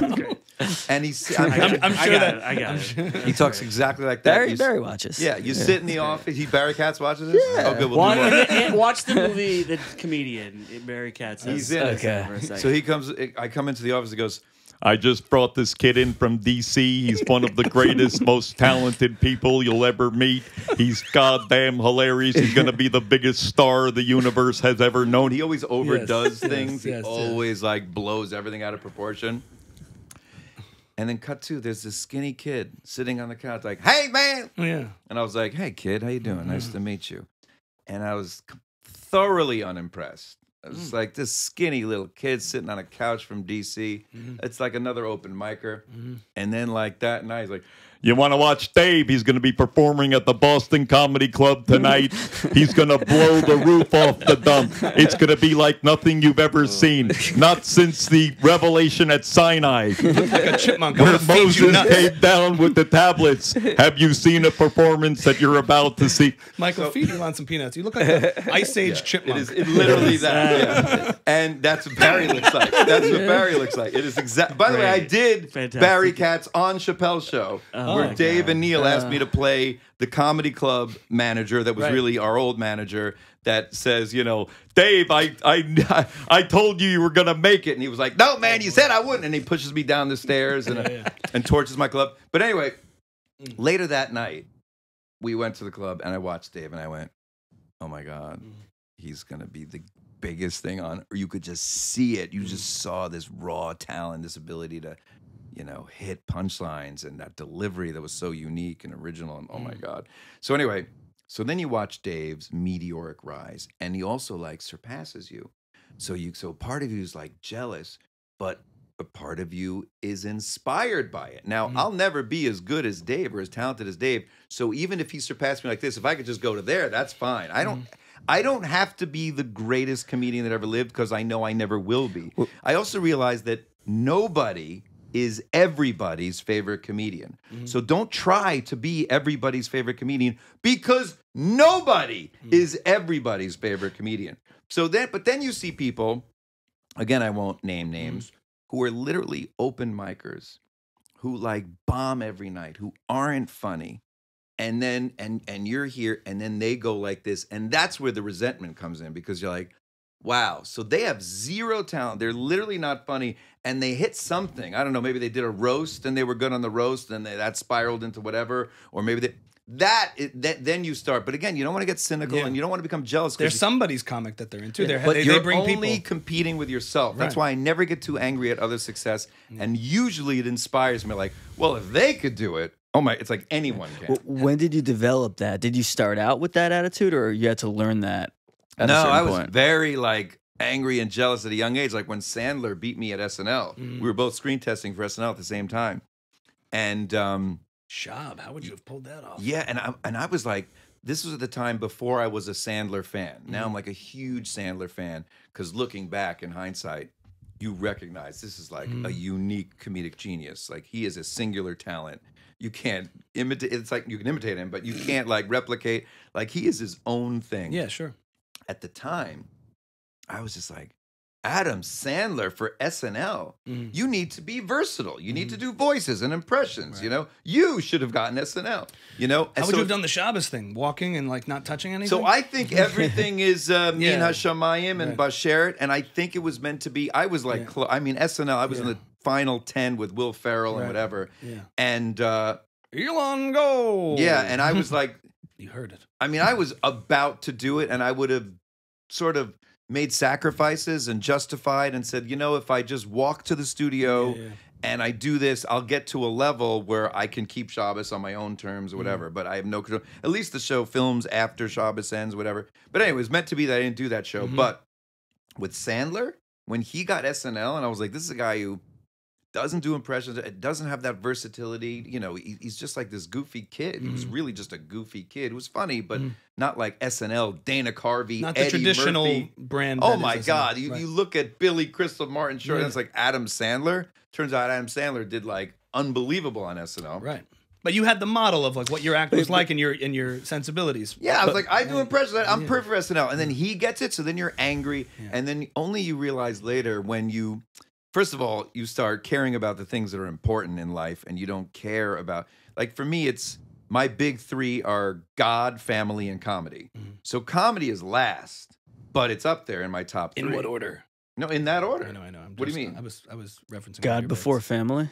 Oh yeah, God gave me family. Yeah. Oh, God gave me life. I, of course, God before everything. God, Oh, screw my comedy? family; they're irritating. No, by, by- by the way, comedian Mike Kaplan, who's one of the best writers, if you know his stuff, he actually has one of a very Jewish bit where he says he talks about like the the I don't know if if it's Gemara where they say when you go up to heaven they're not going to ask why weren't you like eh, Zusha? They say why weren't you like this person? They're going to ask why weren't you like Zusha? So the idea that you're like you know I mean, you're just comparing yourself to you. Correct. not this random That's all you have to do. I can't imagine because I imagine showbiz is like this combination of like a huge amount of luck plus Mm-hmm. talent. Huge And your of definitions plus of talent. success over time have how have they changed in, in this process of Yeah, like going That's through? another great point. I, also found that interesting. Like I was like, some of the people who were contestants on Last Comic Standing Mm-hmm. were getting judged by comedians I'd never heard of. right? Isn't that crazy? That was so strange to Yeah. me that you're Yeah, like Roy but- Wood Jr. but But the Gamzula Tova, you didn't get SNL. You had more years of like in the grind, but Yeah.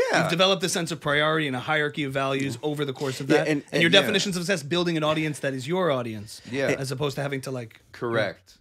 No, I, th- I think that's really interesting, especially with having Ellie here, because like Ellie, you, you just did your first special, your your first uh, hour, which was hilarious and it was awesome, sold and out. like, and you're you're very interesting because you're going for a very very niche audience, and we spoke about that on the last episode. But like like when you think about it, do you think about being the biggest comedian in the world with with your routine? I think or- about it as like people are like, you write jokes for regular crowd, you know, non-Jews or people, I guess. Mm-hmm. But I, you know, I, I think about it. I write in Jewish bits, Mm-hmm. and that's what I think of, and that's primarily what I think of. But I think, I think if you can find your, I guess, zone of like, all right, this is my spot of where I'm doing, Mm-hmm. and that's what I'm gonna keep doing, and eventually I'll develop enough skills. Okay, okay, I can write for a broader audience, whatever. That's fine. But Yeah. yeah, I think that you find the thing that you're good at and keep doing that, and eventually, you know, I think I've heard Conan say that Conan or Pete Holmes quoted Conan saying, "You just keep doing your thing, ringing that bell, and eventually people will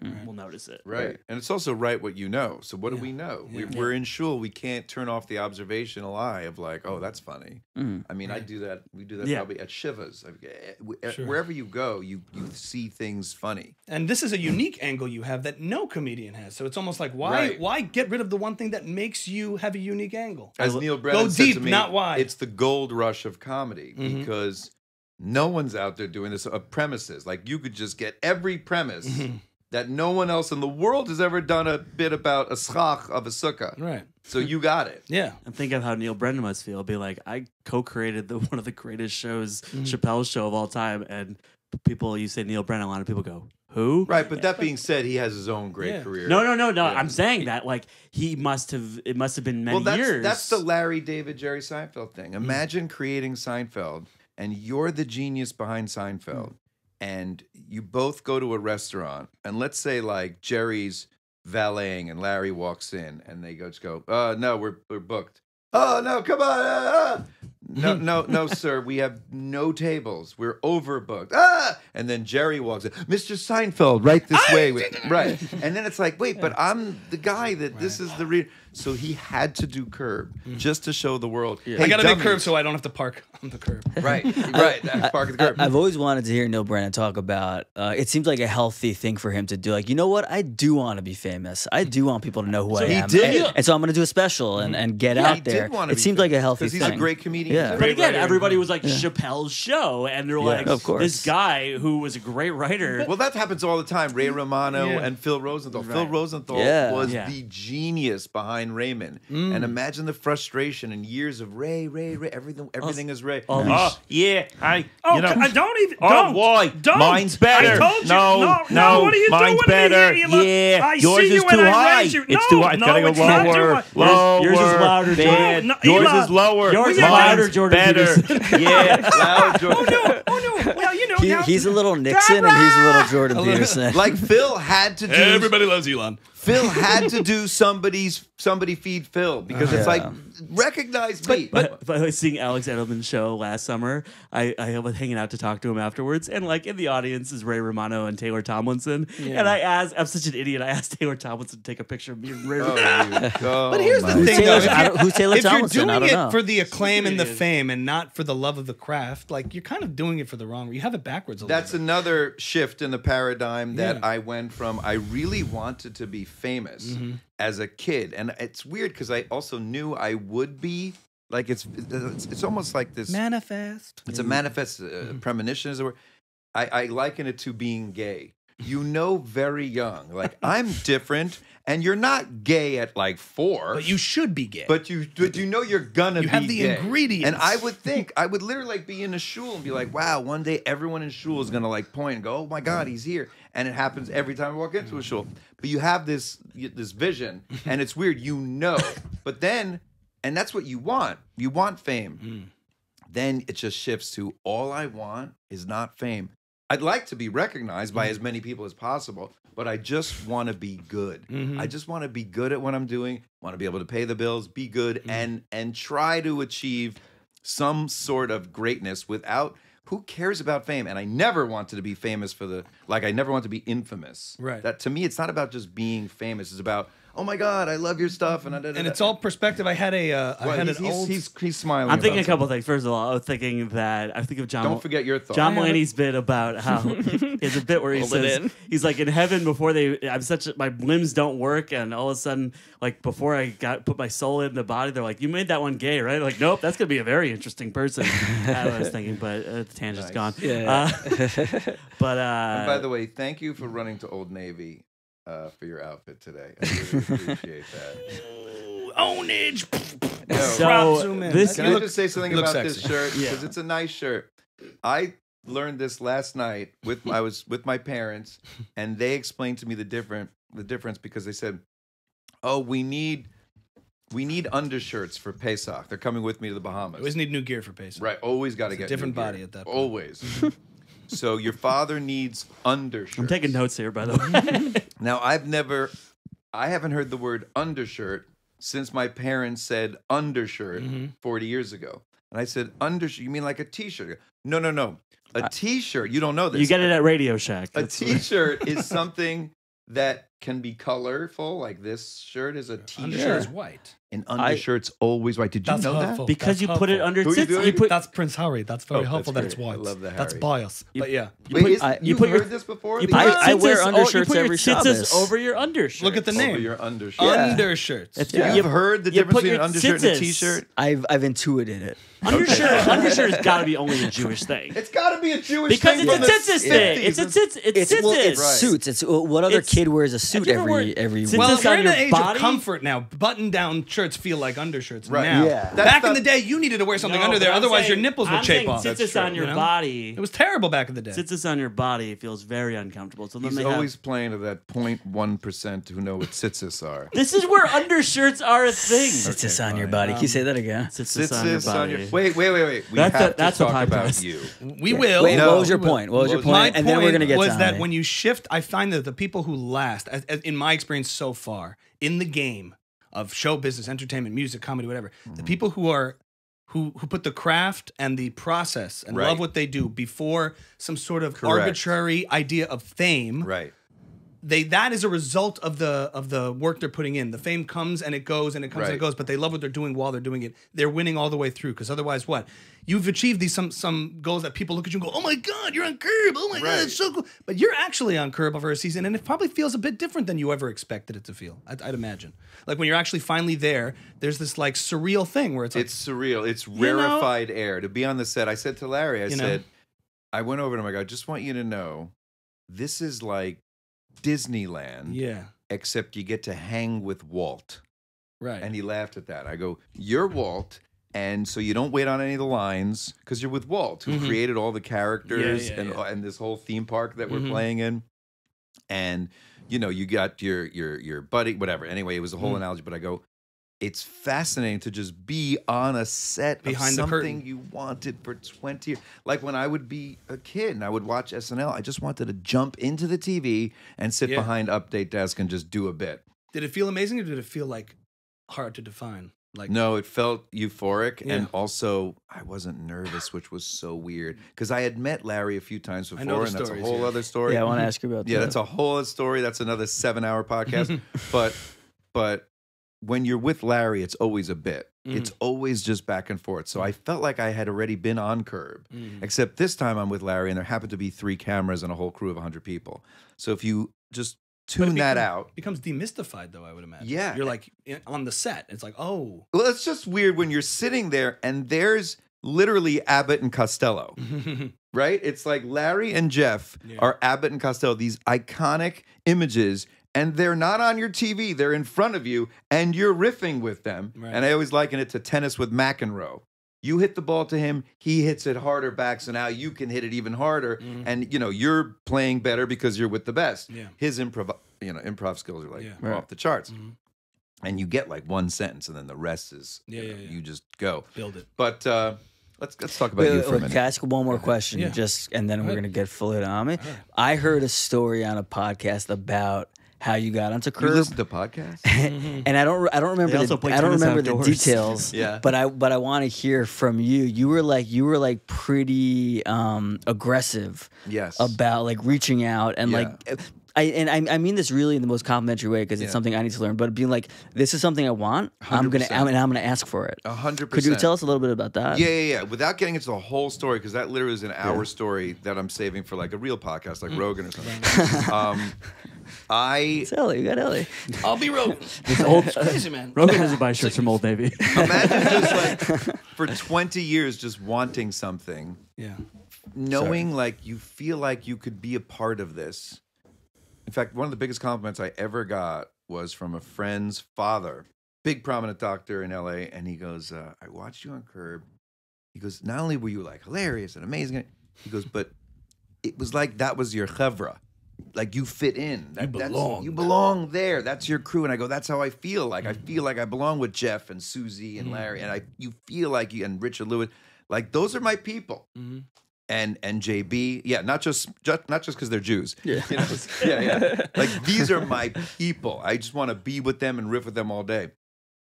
And then my son got in, Brandon got into Curb at like 15, 16. This is like over five years ago. And he just turns to me, he goes, Daddy.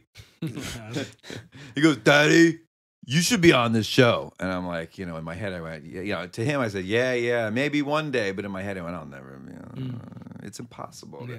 You just, you just, impo- you just have to be whatever.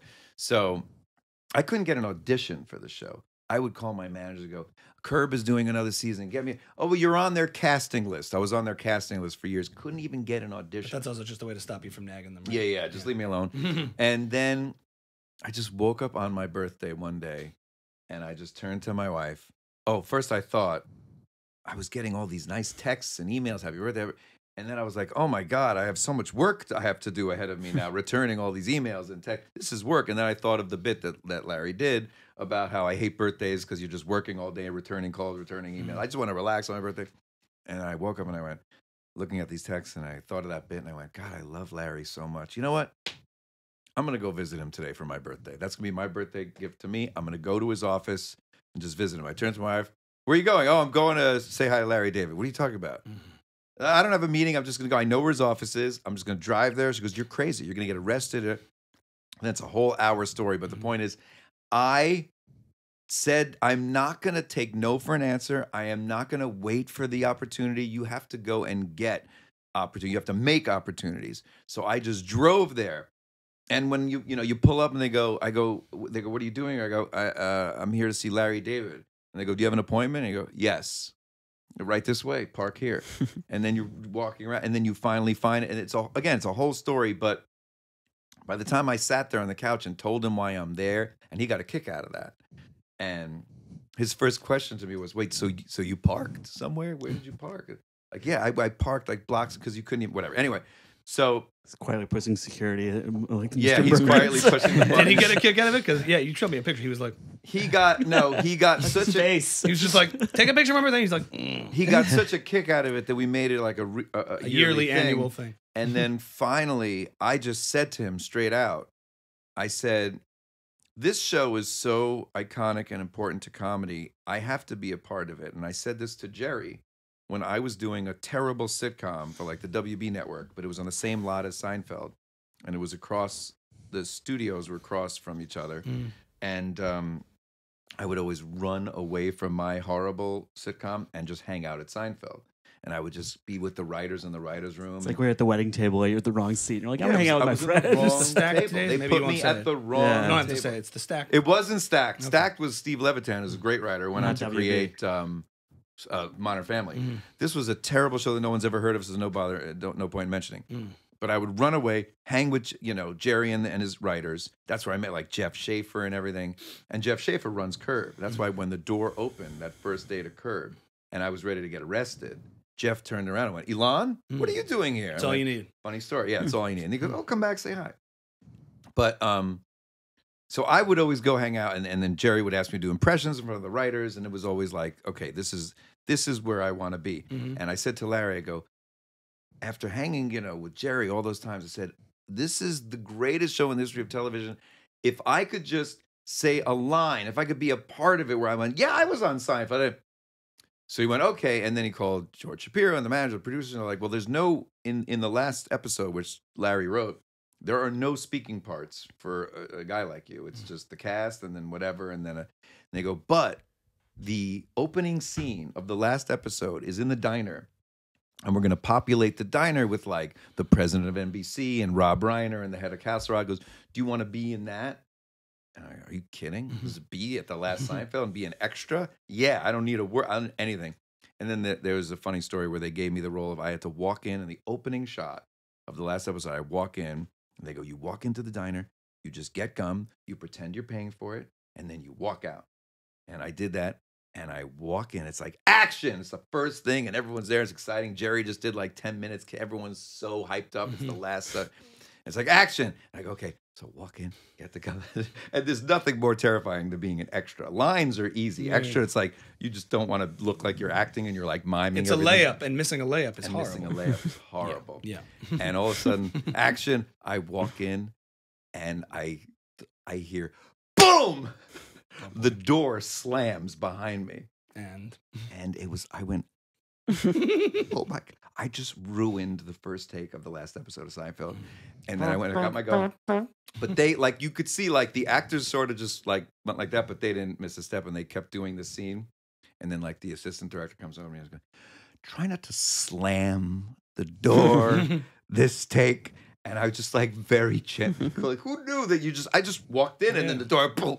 Anyway, so I said to Larry, if I could just be an extra, even even an extra, and cut two, I was in one scene in season ten, nailed the scene, and he's such a mensch. He called me, and he was like, "I'm sorry," and I'm like, "Oh no, oh don't even."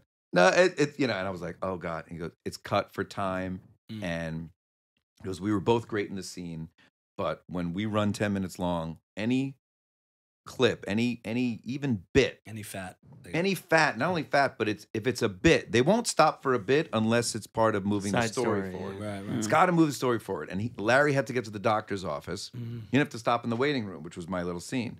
And so And they when they're looking it. for cuts, they cut it. And, and he goes, I'm going to find you something next season. And I'm like, how likely is another season? He's like, uh, likely.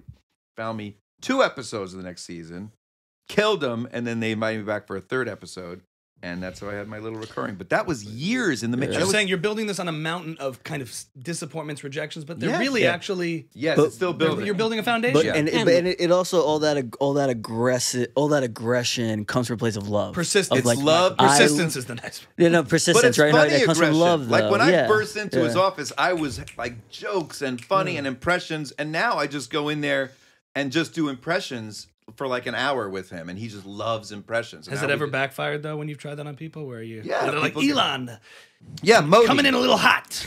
Wait, nothing on that. What? Yeah, Modi. Has it ever backfired? You know, when you try to do impressions and you try to entertain people. All right. When our voices said- came I- out, they came out Jewish. I told you- oh, here he goes again. I told you watching that episode Yeah, with the it's Money like- podcast was watching. It's like watching Uncut Gems. My heart was just. my heart was so. I was. Elon I'm was a- sorry, I'm trying to entertain people. with Elon my almost got unique- shot in the head at the end. It was a pretty epic podcast. It is. It was actually. epic. For But better let's or talk worse. About. All right, let's, let's talk talk about, about you. Let's also talk oh. about the idea of obscure impressions because Okay. we, we touched Right. on it. So I always went. Let's do Charles Grodin. Let's do people that nobody does. I do a Jeffrey Tambor. Do you even know who that is? Arrested, Is, Development. that, is Jeffrey Tambor the? the dad from Arrested Development? Transparent. And dad- Hank, of course. from Larry Sanders. Right. So it's oh oh no oh good God Larry. Nobody does a Jeffrey Tambor. Right. And when you get to do that, again, you find you crack the code, you find the hook, and it's so much fun. Mm. So, which brings us to you. To me. We're gonna get we're getting to you right now. Is- I have been fascinated by you. So I meet you, you're like a kid. How old are you? 15, 18? When you met me Yeah. down the street in Vacation Village, Yeah. I was a ch- I was but a child. but a child. Yeah. You said to your family, doesn't he have the perfect nose? I said that. I was was always like- was jealous of good noses. Yeah, I was like seven. I was a. I, I was. I, my, when I was born, my parents bought a place in Vacation Village, so I was a child. Yes, You were a was little child. child. And you were you were just talking to him as a little talking to him. child. You're like, boy, messages. come here. And One day we're gonna do a podcast together, and I'm gonna hate them. yeah. So yes, as a small kid, It's called And then- grooming. grooming, I Yeah, think and is then the I run into you later on as an adult, yeah. and you have this knack for impressions that nobody does. You start doing people that most people don't know, like a rabbi of a shul, like Rabbi Muskin. Give it me. Absolutely not. Totally, totally. A lot of a lot of people know me. Actually, they just go to Yick. That is scary. So I go, wait, that's like unbelievable. Mm. And I just love because like I would also do a uh, you know, Rabbi Marvin Hier. Sure. He's the head of the Simon Wiesenthal Center. And Rabbi Hier The is- center. Right. The thing with Rabbi I Hier is because he, he he does these gala dinners every year where he has like the biggest stars in the world. Yes. You know, from whatever he had Chris Rock host once. He Mhm. always has like uh, Scarlett Johansson. So- So he's in that world of LA where he's like doing these. He won an Oscar, He's in nonprofit Jewish showbiz. but also Sent him an email always loves to drop big stars' names. So he would be saying like, "I was having lunch with Tom Cruise, and we were sitting there, and he said that the Simon Wiesenthal Center is the most important center." Anyway, the point is, And I then, recognize that from your tissue book. and then he took, yeah, that's then exactly he took a what I'm laxative. I'm also doing him in my Christmas tree bit. Mm. When you light the left to right, but like, yeah, That's what that's from. yeah, you, it's, you it's borrowed all Marvin the, Hier. the Gemara is Rabbi Shout Hier. out. Yeah. So I see you doing Rabbi Muskin. Then you do. There was a few others. Who else do you do? Who else? There would no like early on, like people like no one knows. You were doing other people, and I in went, which world? I mean, are we talking like the Jewish Jewish world? Yeah. Or are we talking? Uh, or even local LA people. You just do friends and family. And I was parents. just fascinated by you that you could do this so perfectly. And then I was a little sad for you. Mm. I was sad because I was like, here's a guy with this gift. God bestowed this gift upon him.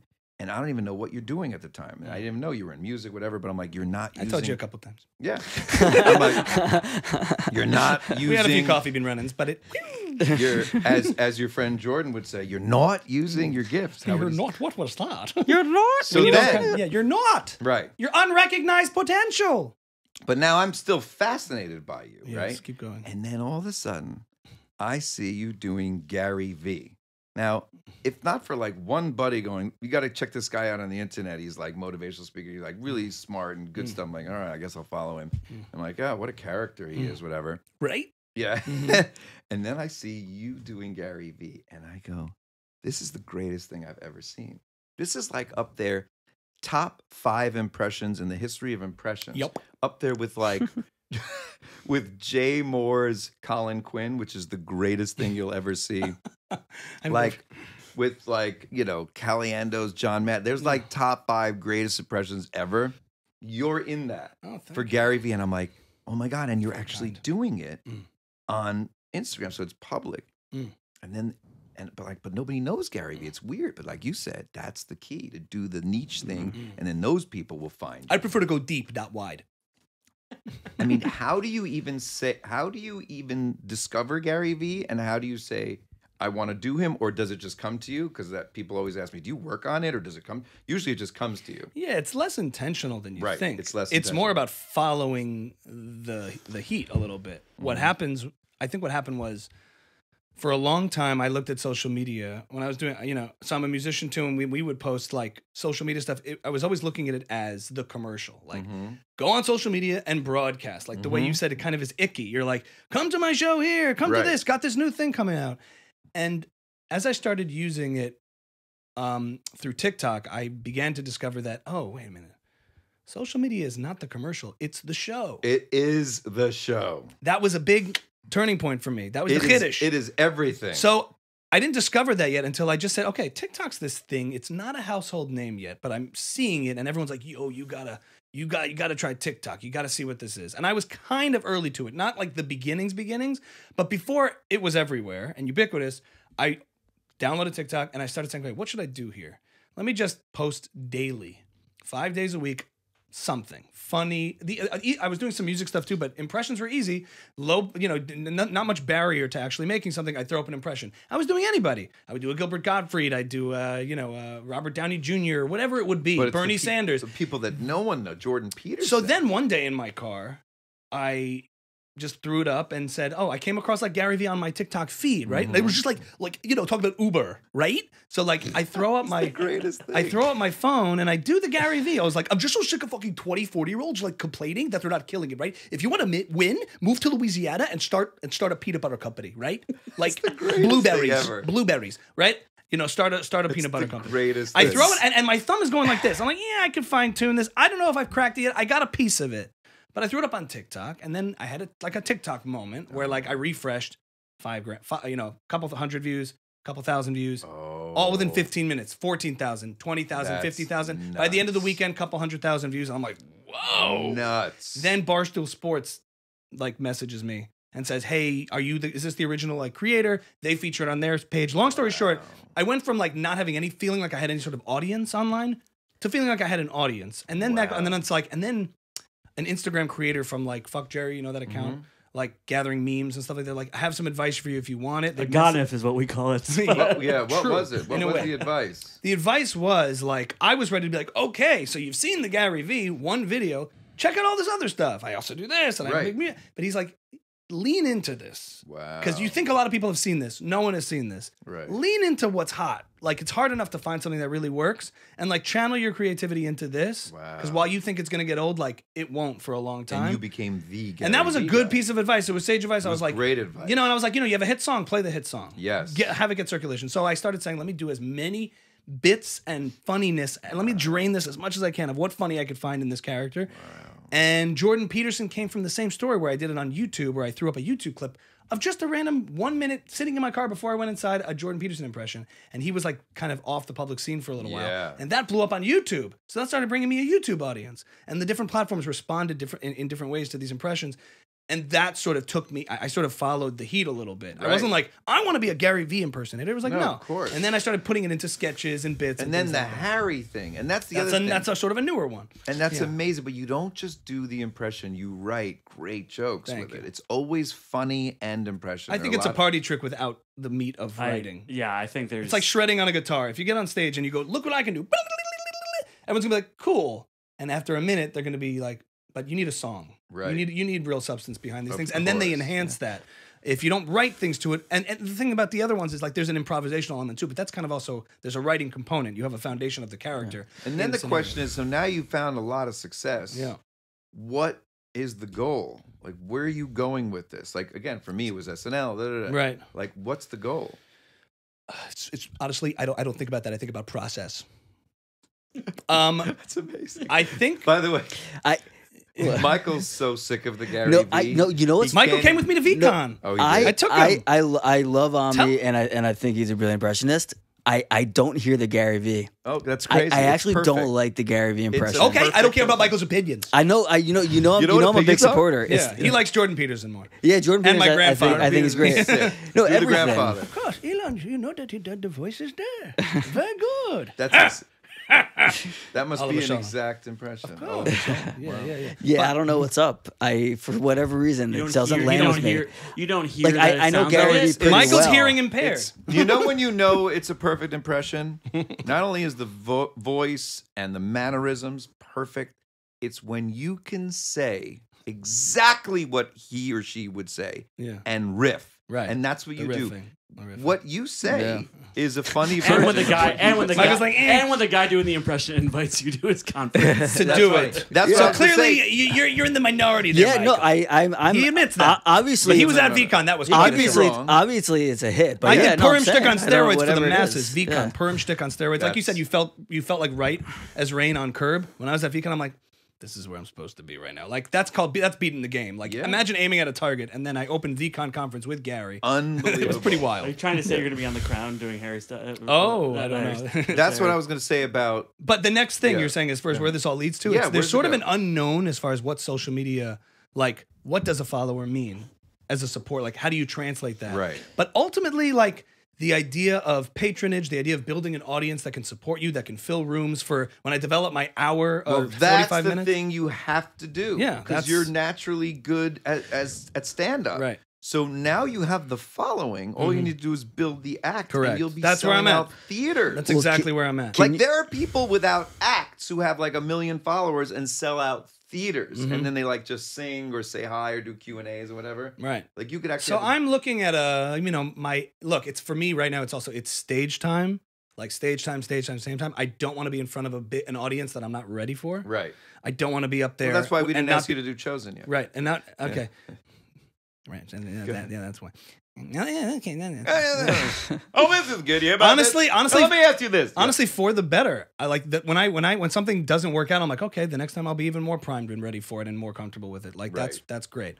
But um, But you're so versatile and you have the music. so and the music, the comedy thing, it's like that synthesis of what that all becomes is all being developed right now, and I'm patient with it because I don't want. I just want the stage time to work out comedy stuff in front of an audience, Right. and then I have like this loop sampling stuff and stuff that I do that's like And how all a part of it. There's like a wife- Bo Burnham. the wife Mm. handle everything because it's so interesting because she could see it as like oh, what are you doing you're just messing around and you're doing dumb videos Right. and what are you doing but now you can't deny success you Right. can't deny what do you have how many thousands of followers do you have Um, TikTok is uh, two two hundred twenty thousand. that's unbelievable. So you can't deny that. Now Right. that's success. Yeah. and now she can't like frown upon you just goofing off in your car or your office and like what are you doing? Help with the kids. I'm working. And that's not a, you know and you're just doing stupid voices. Has there been any recognition and acknowledgement of oh my god even the comedy i know you did well with music and da, da, da, and you're Well, my wife will do like with anything is like uh, when I'm doing funny bits,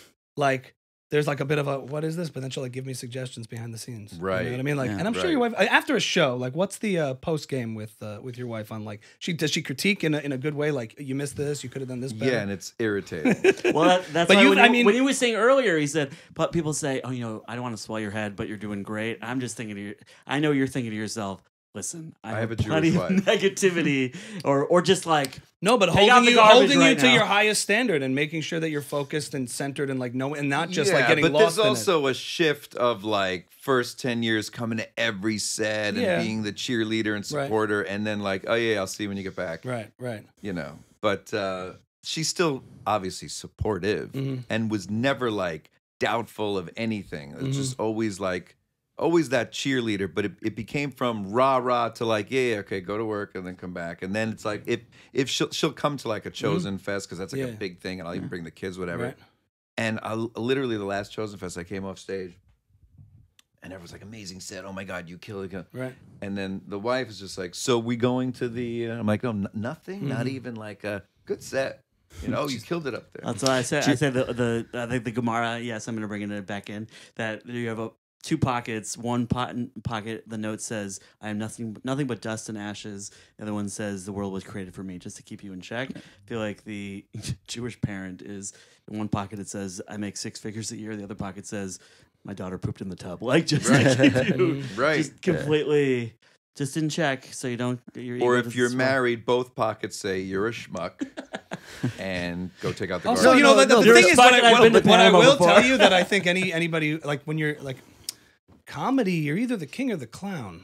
If you know, like right. when you get on stage and you're if you're a musician and you've been putting your time and your years like music is protection like a little bit from the audience in some way. You can go up on stage you play a set that you're happy with.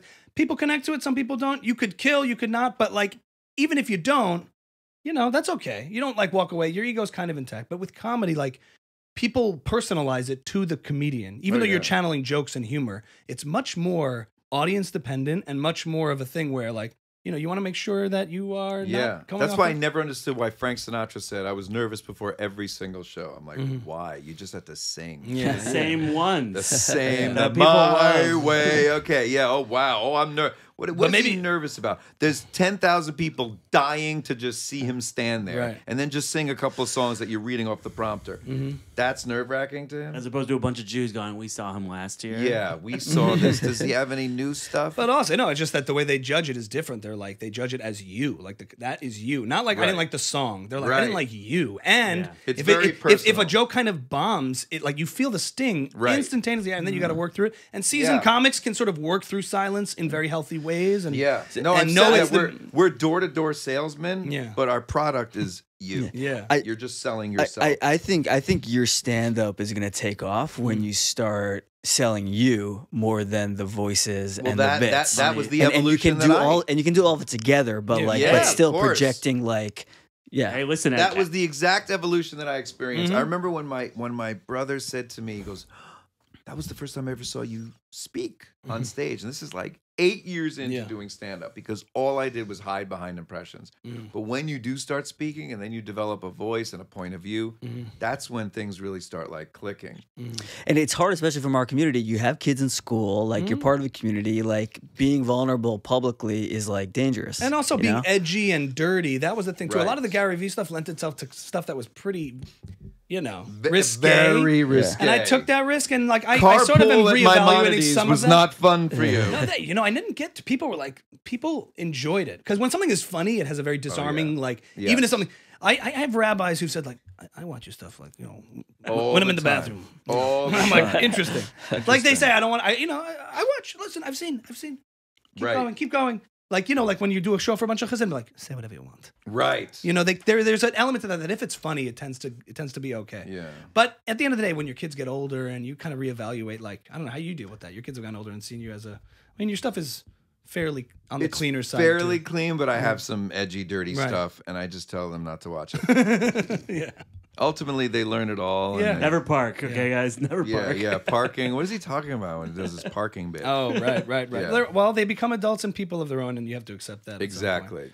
Um, Mm. you know. Are so- we are we wrapping up? Can I now? can I just say something? Yes. You're an excellent podcaster. Thank you. By the way, that was a good. That good was, was a those very were great great, questions, and those are great great questions. I should have my own podcast. should if think I about didn't it. resent podcasts, I would have. Just a remember, podcast. social media is not the commercial. No, because I'm show. I'm naturally curious, and I'm much more curious about you and your journey Mm. and how you discover this talent, and then you start doing it. That was fascinating. Then on my own sure you story, can which I relate. It's know, the same thing. I could totally relate. Yeah, Mm-hmm. yeah, and you were also good. Like, um, I like I have a hard time cutting on me off, but you're really good at it. I could Like cut you, you off. got you guys went like I toe to could cut off anyone. at Any any quick time. impression off while we but to wrap up on a fun Quick little game, impression Michael? off? You can because say. I held back. Oh, should I throw should I throw ones out? yeah, let's see. Elon can be someone. I'll be Ben- someone. Benicio del Toro. Oh, That's you. No. That's- Okay. No, no, no, no. Let's Okay. go with more obscure. More Benicio del Toro. All right. Howard Stern interviewing. All I got was You Will choose. Ferrell. I Uh, got- Jordan Peterson and Howard Stern. Okay, here we go. Okay. Uh, well, this is very exciting, Robin. Let me tell you something. Mm. Pretty good. This Jordan Peterson, I mean, he's a know it all. He thinks he knows everything about everybody, Robin. Jordan, how are you? Well, well, you know. How are you? is- It dep- depends on what you mean by how and are and you. You know, I don't really like the way the question is formulated. It's like, well, I can tell you how my day is on a typical day. You know, I have young men coming up to me and, you know, they're telling me I've improved their relationship with their father. And, you know, that's really something. Do you have That's Artie I Lange? say. You got Artie Lange? I don't do an Artie. Artie, and I don't do an Artie. either. Oh, he'd be good. I the only guy is, is Seth Rogen. It's one of my nasal impressions. You've got to be very nasal and Canadian. I don't have kids and I don't want I don't want It kids. I doesn't seem that genuinely- fun. it, it seems like a lot of work. a lot, a lot. So you could do a lot Canadian Yeah, a lot of work. a lot. It's Canadian and nasal. Mm. Um, who else could we do? Oh, you know who I love doing? We did a Trump stage? off before. I your Trump, you've added a little growl to it, which is Yeah, we added a lot of growl. We added a lot of growl. You know what I've noticed? A friend of mine showed me. It's the Yeah. the lips. Uh, we're It's doing a lot, lips, and folks. then- we're doing a lot. Teleprompter always- Trump And then it, he breathes in through his nose. through his nose. and he closes his mouth. And then sometimes he whispers, sometimes he whispers. And then sometimes he's very loud. and That's how he so- snores. Great, great, so great. And when he's sleeping at night, folks, Yeah. teleprompter Trump, very sensual. You know who I like doing now? Hmm. President Zelensky. Go ahead. Oh, the deep Zelensky. Yeah, People say I look like him. I get You do look a little like him. And that's all he does. He just looks into the camera. You don't understand a word, but it's riveting Yeah. and captivating because you just stare at him and he's just like, Слава Украине. Russians.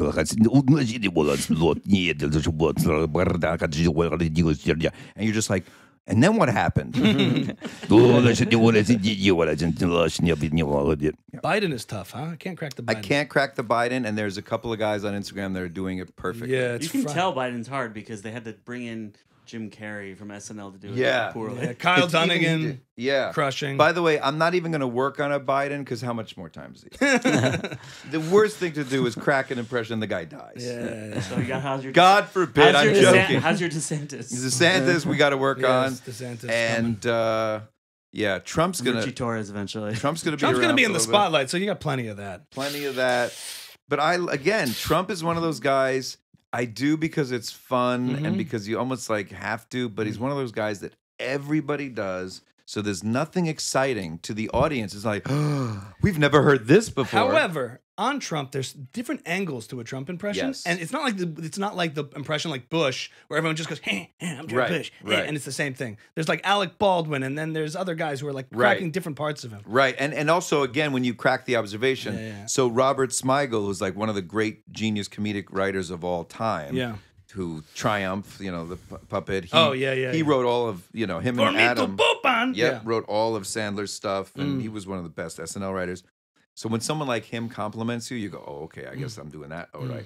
And he said, "I love the angle of your Trump where he says something that contradicts what he just said three seconds ago." So like, Ah, I would go, yes. You know, the Russians, they're doing terrific and also some very bad things. And Putin, he's a horrible guy, he's a nasty guy, and we're very close. He's always just contradicting what he just said Oh, a yeah. few seconds ago. Yeah, so when you find again that angle or the observation, it's yeah, yeah. It's you- not just an I was doing working on a Mike Pence at the time too. and Oh, let's hear it. It's like, I think it's time for new leadership. You know, this kind of like, I think it's time for new leadership in this country. That's I don't know what actual Mike Pence Mike sounds Pence like. sounds no one knows what he sounds That's- like. So I- we don't know if it's. I think good I'm or very not. proud of what we did in the Trump administration. I'm very proud of what we Like- accomplished in 2020. I'm very proud of 2016 and our record. We did a lot, but I think it's time for new leadership. I'm pretty sure Jordan Peterson. I can't think of without thinking of Ami because I don't know. I hadn't heard. Well, of- you know, nobody can. I hadn't heard of him. Yeah, no, It's I hadn't the heard him talk. greatest. But much. don't you feel like like last night? I uh, on, on stage I did. This, Where did you perform? at- last night? I did. I told the North Shore thing. Oh, right, And I did the uh, the Jackie Mason, which I can never do anywhere except Mm. at these Jewish events. Yeah. And I love doing Jackie Mason because you you know how it is. You Mm. channel them. Yeah. You feel like them. So it's almost like they're there and you're just this vessel and they're there again Mm. and you're just channeling it. And he was like one of my favorites. So even when I'm doing him, I'm still enjoying him. like I'm not enjoying me. I'm enjoying Jackie Mason. Well, I when it's flowing and you're like looking in the mirror and you see that. well, you never want to look in the mirror. No, not literally. Like you, you're Oh, seeing you- a you figurative see it. mirror of them. A That's how you do it. That is exactly correct. You are staring at a figurative mirror of them. Right. If you ever look in an That's why it's actual much more mirror, visual. An impression is, for, is much more visual than Much people more. realize because people try to do the voice, but you're like, Yeah, mm. I think Frank Caliendo's Bush is so good because he Oh my yeah, God, his visual. face is unbelievable Yeah, how he contorts it. But the worst thing to do is look in a mirror. Right. But anyway, so I was doing Jackie Mason last night. It was Jackie Mason. Uh, if if uh, Mel Gibson hired Jack uh, a, a Jewish guy to do play Jesus because Jesus was a Jew Yeah. instead of a non-Jew, which he shouldn't have And hired. Passion of the Christ. Right. So so Jackie, to tell you the truth, it makes me nauseous to think that a person such as myself has to stand up here and die for your sins, Mister. I, I, I I got a better idea. Why don't you die for my sins? I'll make you a deal. You die for my sins, I'll die for your sins, but you go first. anyway, so it's so fun to just feel like him. Jackie just- Mason was a comedian, or like he was? A, I'm just kidding. He was a rabbi. But the problem is, Yes, I went they when he don't know. died. I went and like as a little tribute. I, I was I had a set at the cellar, and I went to the cellar and I started doing Jackie Mason, and it was just blank stares. I went so Mm. when the impression sad. bombs, it hurts in a different way. No, way. but also it's just sad that Jackie, who was top ten of all time to Yes. ever do stand up, nobody knows. You know, Don Rick, uh, Louis C.K. tells a story. Don Mm. Rickles called him over once, and like uh, they were out to dinner or tell you something, and and you know, and, and he was he was he was roasting him in, in front of all, all of his friends, and Louis C.K. was like, "Oh my god, I'm getting roasted by Don Rickles, it's amazing." And then he pulls Louis down, and he goes, "Don't let him forget me." Wow. And Don then Rickles said that to Louis. yeah, and then Louis goes, and no one remembers who he is. Don Rickles. People I, I don't remember know. who Don Rickles, Don Rickles is. a legend of roast. Yeah, legend. but he he he cared. But I know what he you mean. was He scared. cared about he was legacy. afraid. He was afraid. Oh, yeah. I'll tell you this. I'll tell you this. I'll tell you, he had that Ronnie. I'll tell you. I'll yeah, a little bit. I'll tell you this. You know? I'll tell you this. Julia, Uh, she lives she lives down the street from me in the Hamptons. Ah, you never call me. But that's also the difference with the roast stuff because you could tell he did it from such a like friends of of the people. Yeah, you had to be friends with them, and it was you know like they say the Friars, we only roast the ones we love. The Jeff Ellie, Ross. speaking of Ellie, wrote my favorite religious Rodney bit. So I do this bit where if Rodney was religious, Mm-hmm. and it's all these funny, you know, jokes about like, you know, whatever. Like, oh, I tell you, it ain't easy. You know, Mm-hmm. uh, the holidays were rough too. I tell you, you know, the holidays were tough. You know, I remember one year the bank foreclosed on our sukkah. You know? and Ellie wrote my favorite. Can I guess what it is? Yeah. Is it uh we couldn't afford a mechitza? We just have Nope, to close that's No, it. that's mine. yours. That's mine. I love that one. But All my right. favorite one of all the Rodneys is. Uh, I tell you, my mother never liked me either. You know, I tell you, it was rough with my mother. You know, as a baby, I tried to nurse. She'd push me away and say, "Hey, you're still flashing." That's the greatest joke ever. That was Ellie Thank pitching you. me. and that was me taking a chance, emailing him, being like, we did a Zoom show together, Yeah. like a year and a half, two years ago, and like I was like, hey, great stuff, love the religious Rodney. Here's a bunch of jokes. I'm gonna back away now, and like, here's a bunch of jokes that you may like. It's so funny because it's so again taking it into your own hands, approaching the guy, just going up mm-hmm. to the guy and doing that. And sometimes it works. Like with me at first, I was like a little resistant. I was like, I write my own stuff. Mm. It's okay. You seem like a nice kid. I, you mm. know, I don't know you, whatever.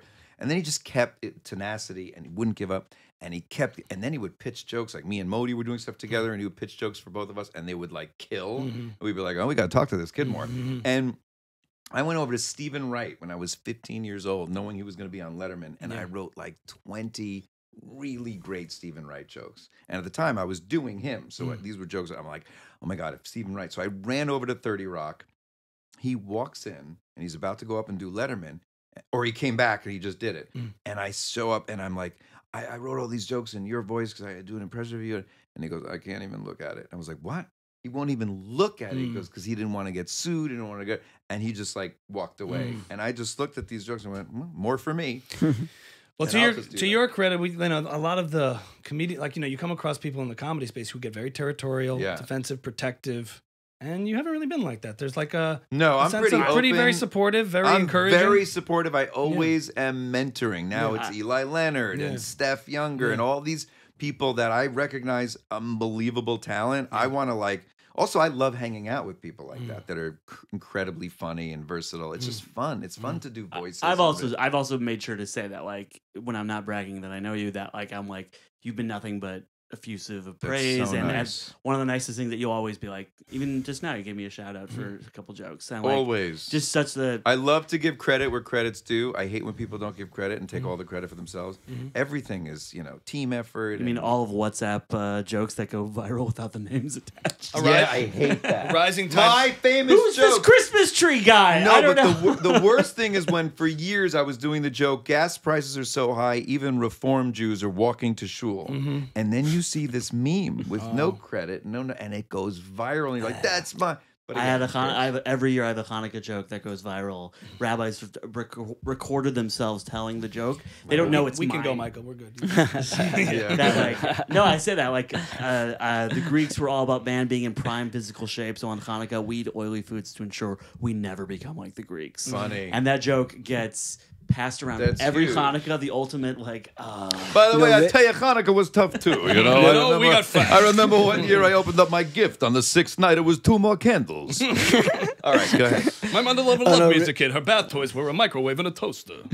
That's a real Rodney bath joke. toys, yeah. Oh, Rick, just I mean, we're all having fun. Rick Rubin has in his new book, he talks about how like real artists aren't creating anything; they're just vehicles for ideas to come through, and Yes. and they're absorbing what's in the ether. So he said he said a lot of times you'll see the same idea popping up in a lot of different places because artists are grabbing at the same time for Oh, the same things. We're, we're like that joke's out there, and but but you Well, know, well, you know. my my solace, and this is my super Jewish thing to bring it down back to Judaism, is that, uh, that every year at Hanukkah, it's always like the, the parsha that comes around is always the Yosef story coming out of Egypt, and Paro Pharaoh says to Yosef, "Hey, I heard you tell." He comes out of jail and he says, "I heard you interpret dreams," and Yosef doesn't say, "Yes, I'm great at it." He says. God does that. I'm just the conduit for it. Mm. So Mm. it's a well, Beautiful. little lesson in humility. Well, Yeah. I am great at impressions. no, no. The truth is, I've always said that. How do you do impressions? I'm like, it's a God-given gift. Phil Hartman said like. I don't know how anybody else doesn't do it, but Right. I do it. That's I don't know why they can't do it, but I can. By the way, crazy story. Three nights ago, I'm doing this benefit for Hatzalah, Mhm. and I do the religious Rodney bit. And this woman who I've met a few times, and I forgot about this, but I hadn't seen her in like maybe ten years. She Yeah. goes, "Oh my God, it, it, it's it's me." I go, "Wait, I know you. I'm Rodney Dangerfield's daughter." And she goes, "Did you see me and then start doing Rodney?" I go, "I didn't even see you. I hmm. just do this as part of my what did she for- sound like? Wow, Elon, that was a great set. she goes, "I'll tell you, I'll my tell you, Dad, I really dad missed sounded nothing like that." Pretty ironic. All you- the kids, wow, Ironic beautiful woman. Ironic that you didn't give her any respect. I gave her no respect. no, I did. She was nice. It's just so weird when the daughter of the guy you're hmm. doing comes I, over. I here. did and when I was vending at Cubs games in Chicago. I did Harry Will Ferrell's Harry Caray Give it for to us for a Harry second. Caray's widow. How'd it go? Hey, who wants to get crazy? Come on! Ellie, we gotta get Oh, more of yeah, that. yeah. Those are some curveballs in your set. If you just did that, I think people would be like, "What It's is just wrong a with funny you? voice. Just figure it's it like out. Jordan Peterson. No one Yeah, knew, and then it's no. still funny. And then you look him up, and then you go, "Oh, it's just I'm fun." sorry, but I'm I've scared. always- I'm I- scared myself I've sometimes. always, Jordan Peterson is like an underground superhero. I've always been surprised when I do it on stage. People, everyone knows. Well, oh, yeah. that's what Dana Carvey said to me once that that imp, that characters, original characters, are impressions of people you know. That's all they are. Mm. Right. They're There's a- impressions of people you know, but the audience doesn't know. Right. So all of a sudden, it's an original character. Just It's like really when he did Cats here, I was cracking up. just I don't- I don't Barricade. know. Or my, my favorite new character, Craig Sims. Okay. Craig Sims is a guy who lives in L.A. Pico Robertson Yeah. area. He's a great guy, Okay. and he's just this sweet and cool and funny guy. But everything he talks about, he always, no matter what you're doing, he always says, You got to remember something, guys. and he's from Oh, South Africa. yes. Guys, you got to remember. Listen to me, brah. Dude. And he always says, dude or brah, brah, Bruh, brah, brah, bruh. brah, dude, brah. You got to remember this. Everything comes from Hashem, bro. It all like comes Johnny You should, do, you, should Yeah. you should do a from like a from tour guy, uh, National Geographic You gotta guy, remember a this big guy. like. the That's very South African. of them. It They're shows all that- like that. They're all Boys, Asian. Yeah, Yeah. they're all like that. Yeah. They're like, Elon Gold. Elon Gold, legendary guy. and he's saving the Jewish people single handedly. He once sat down with me. Puts on tefillin every day. Yeah, no, he literally said that, but he goes, He goes, If you could get Larry David to put on tefillin, Mashiach will be here. "Really? Is that what it Yes. takes? Is that all we Uh, need?" that is a perfect Instagram clip. Oh wow. That's so funny because Yeah. South Africans have this like unwarranted But, confidence. it's, but part of about that is also like we like them with this British accent too. That we're Yeah. like more attracted to. Oh, Like yeah. Reb Akiva Tatz is. But we like, think they're all Yeah. smugglers or something. No, like they but know like- something we don't. but like if- Let me tell you something, guys. Don't say anything. yeah, guys, dude, I bro. spoke to God last night, and he told me. But, oh, but also again, I'm saying if the accent. If Reb Akiva Tatz was like from Teaneck, you'd be like, Oh, this for guy. sure. But- for but- It sure. all comes from a Hashem. No, no. But it the- all comes from a Hashem. But the notion that they're they're that that characters or impressions of people you know. Yeah. I like that. I was hanging out with them one day, and I'm just, you know, how you lock into someone, Yeah, sure. and you go, "This guy's cool," and this guy's different, Mm. and he has a voice, Yeah. and he says similar things. And I just said to him, we were hanging out with a bunch of guys smoking cigars, and I went, "Craig, by the end of the night, I'm gonna do you, not in that way. And uh, and I just started. I just kept staring at him. By the end of the night, all and the whole table was going nuts. They were like, "Oh my, it's crazy." You know when your brain tickles when you're with someone, you're like, got it. Got it.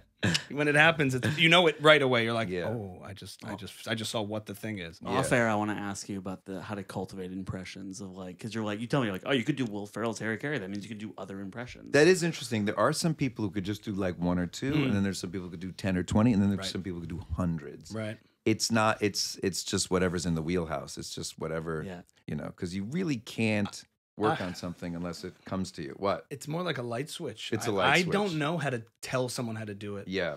It's like uh, it's like people with perfect pitch. They're Yeah. like, oh, that's an F. How? How do you know? How did you learn? I I don't know. It's it's an F. Most people, for whatever reason, don't have perfect pitch when it comes to notes. Right. But people with perfect pitch do, and they just hear it. And they they tell they describe it to me like, well, you see red, you know what red is, right? Yeah. You don't have to like know what red is by comparison to yellow. Like I can tell I have good relative pitch. I can tell different pitches when I hear Yep. one and then the other. But uh, there are things you can describe that you're doing, but ultimately to crack it, there's something that just goes on where you're like, there's a mechanism that Yeah. And it's also like songs are like bits. Yeah. A song could take you a minute to Right. write. It just channels through and you Right. do it and you write down the lyrics and the thing and, and there it is Mhm. for years and Right. years and you're working on it. It's like a bit too. Bits take 10 years sometimes Mm-hmm. and sometimes 10 minutes. Yeah, bits equate to songwriting. The, uh, the the the impression itself, how it happens, different. how it does it, how you can go It from like hits you. if I go mm, and then Jordan or Right. I, as a kid, saw The Fly five times with Oh. Jeff Goldblum. And by the fifth time, I was just going, Uh, uh, I'm working on something that'll change the world as we know it. yes, yes, yes, yes, but, but, but. And I realized he says but that every was second. it. Yeah, but, uh, but, you Mm. know, you know. And I was like, okay, I could just, you just feel it. You're of a you're sudden. responsible for the IMAX success uh, based on you It's doing. Jeff It's my doing. impressions. Oh, Elon. Gold. I got to tell you, man, you're a great Uh, podcast. let me tell you, let we've said it all, and we've done it all here. And this was one of the best podcasts uh, we've ever had. Am I right, Robin? Thank you, Howard. And by the way, it was a great podcast, Howard. and by the way, I think I think we did very well. Very I think well, we did folks. well. We we kept control. I didn't do a lot of impressions. I had Buckle up. I love him, but I like him. I don't love him. I like him. I did a lot of. I had to um, censor myself every time an impression or a joke came to my head. I went, no. I didn't want to make you self conscious, but you did Why great. make people happy? Why I Why think that you without impressions doesn't make people happy. that's true Come on. Insecure. Yeah, it's an insecurity. You don't need the shield anymore. You're not at the comic strip in 1997. Take Right. it off. It's true. Take off the armor. Why entertain when you can bore? You think they want a comedian? They want a sheer. exactly. This was a lesson. And when I was sitting with Will Smith and Tom Cruise, Yes, close it on Rabbi Hier or don't click the WR. Um, we had a good time. Thank That's you, a great Elon, time. Thank you. Thank you for Thank having me. I love much. you guys. love Big you fans. too. Thanks and, for everything. uh, that both is of Buckle you. Up episode 57, Elon Gold, available everywhere. Think Chag is Sameach and Ellie. Chag Sameach. Ellie is here, and Ellie is our dear friend. Oh, that was that was um, very much Ellie like, had his feature. that was like a T-ball. Like, no, no, oh, Ellie is our. Ellie is our guest host Ellie, for the. is your the- special online anywhere? Can anyone Oh, yes. find I it? am. I, it's not. We're on, editing. Uh, we're editing. We're working on it, but we're gonna release clips. So But funny. Thank So you. Put the whole much. thing on Yeah. YouTube eventually. Yes, long form. I, I spilled on my shirt beforehand because Or maybe in a Ellie, bigger That's venue. an endearing thing. We- we I gotta- will say, Ellie, I- at the show that we did together, incredible set, Yeah. flowing off of your You special. too. Thank Yeah, you. we, we got to have Ellie back on his own to Yeah. to, to recap. Why, the 'cause I special and talk too much? I- no, because Michael was at his show, but he wasn't. yeah, I have. I have a lot of questions for Ellie Oh, specifically. really? I do. Yeah. Well, it looks like you just earned yourself a spot on there. he beat you to it. He's been on before. Yeah, yeah, That's yeah. why. I know, I've seen Yeah, it. yeah, yeah. yeah. But Ellie, uh, congrats on all that, and Thank the, you. uh, and the special. I can't wait to see the clips and the full length. I think at some point, but I know what you mean. You don't want to. I don't. I, yeah, I. Who knows? Yeah. What, what's And gonna by the way, big congratulations on selling all of your chametz. I'm like halfway there. There's a few buyers that are thinking about it, and they're like, "We're not sure we want this I was, particular chametz." I was at a show last night at a shul, and I was in the, like preparing, and I saw a sheet, and I filled it out. I gave it to the rabbi right before I went on stage.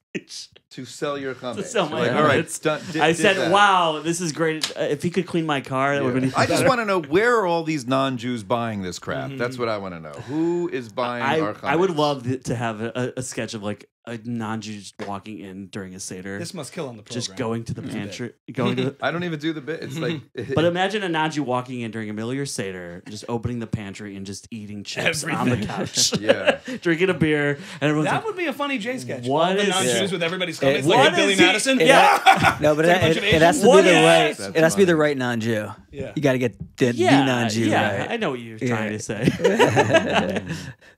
Okay. I know what you mean. No. I, I don't know what is it there, but ended on a very niche note. I like that. I like that. Um, it's, it's it's it's the timing going into going into Pesach. Chag Sameach, everybody. Chag Thanks for being on. Sameach. That's episode fifty-seven.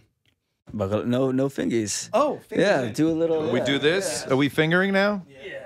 Is that your Uh, thing? is this Captain Planet? That's your All right. thing? Wow. It's very. Wow. Wow. Is I told you by the end of the episode, I'm going to do you. He's do you. he's been married Is it 29 weird years. that but I have a, was- an erection Oh. because I've been married for And- 20 and that's the most fingering I've done. And in- say, uh, say, keep it crispy. what's that from again? Pete Holmes uh, Pete Holmes is random. thing. What's that? Thank you. What the hell is that fingering thing?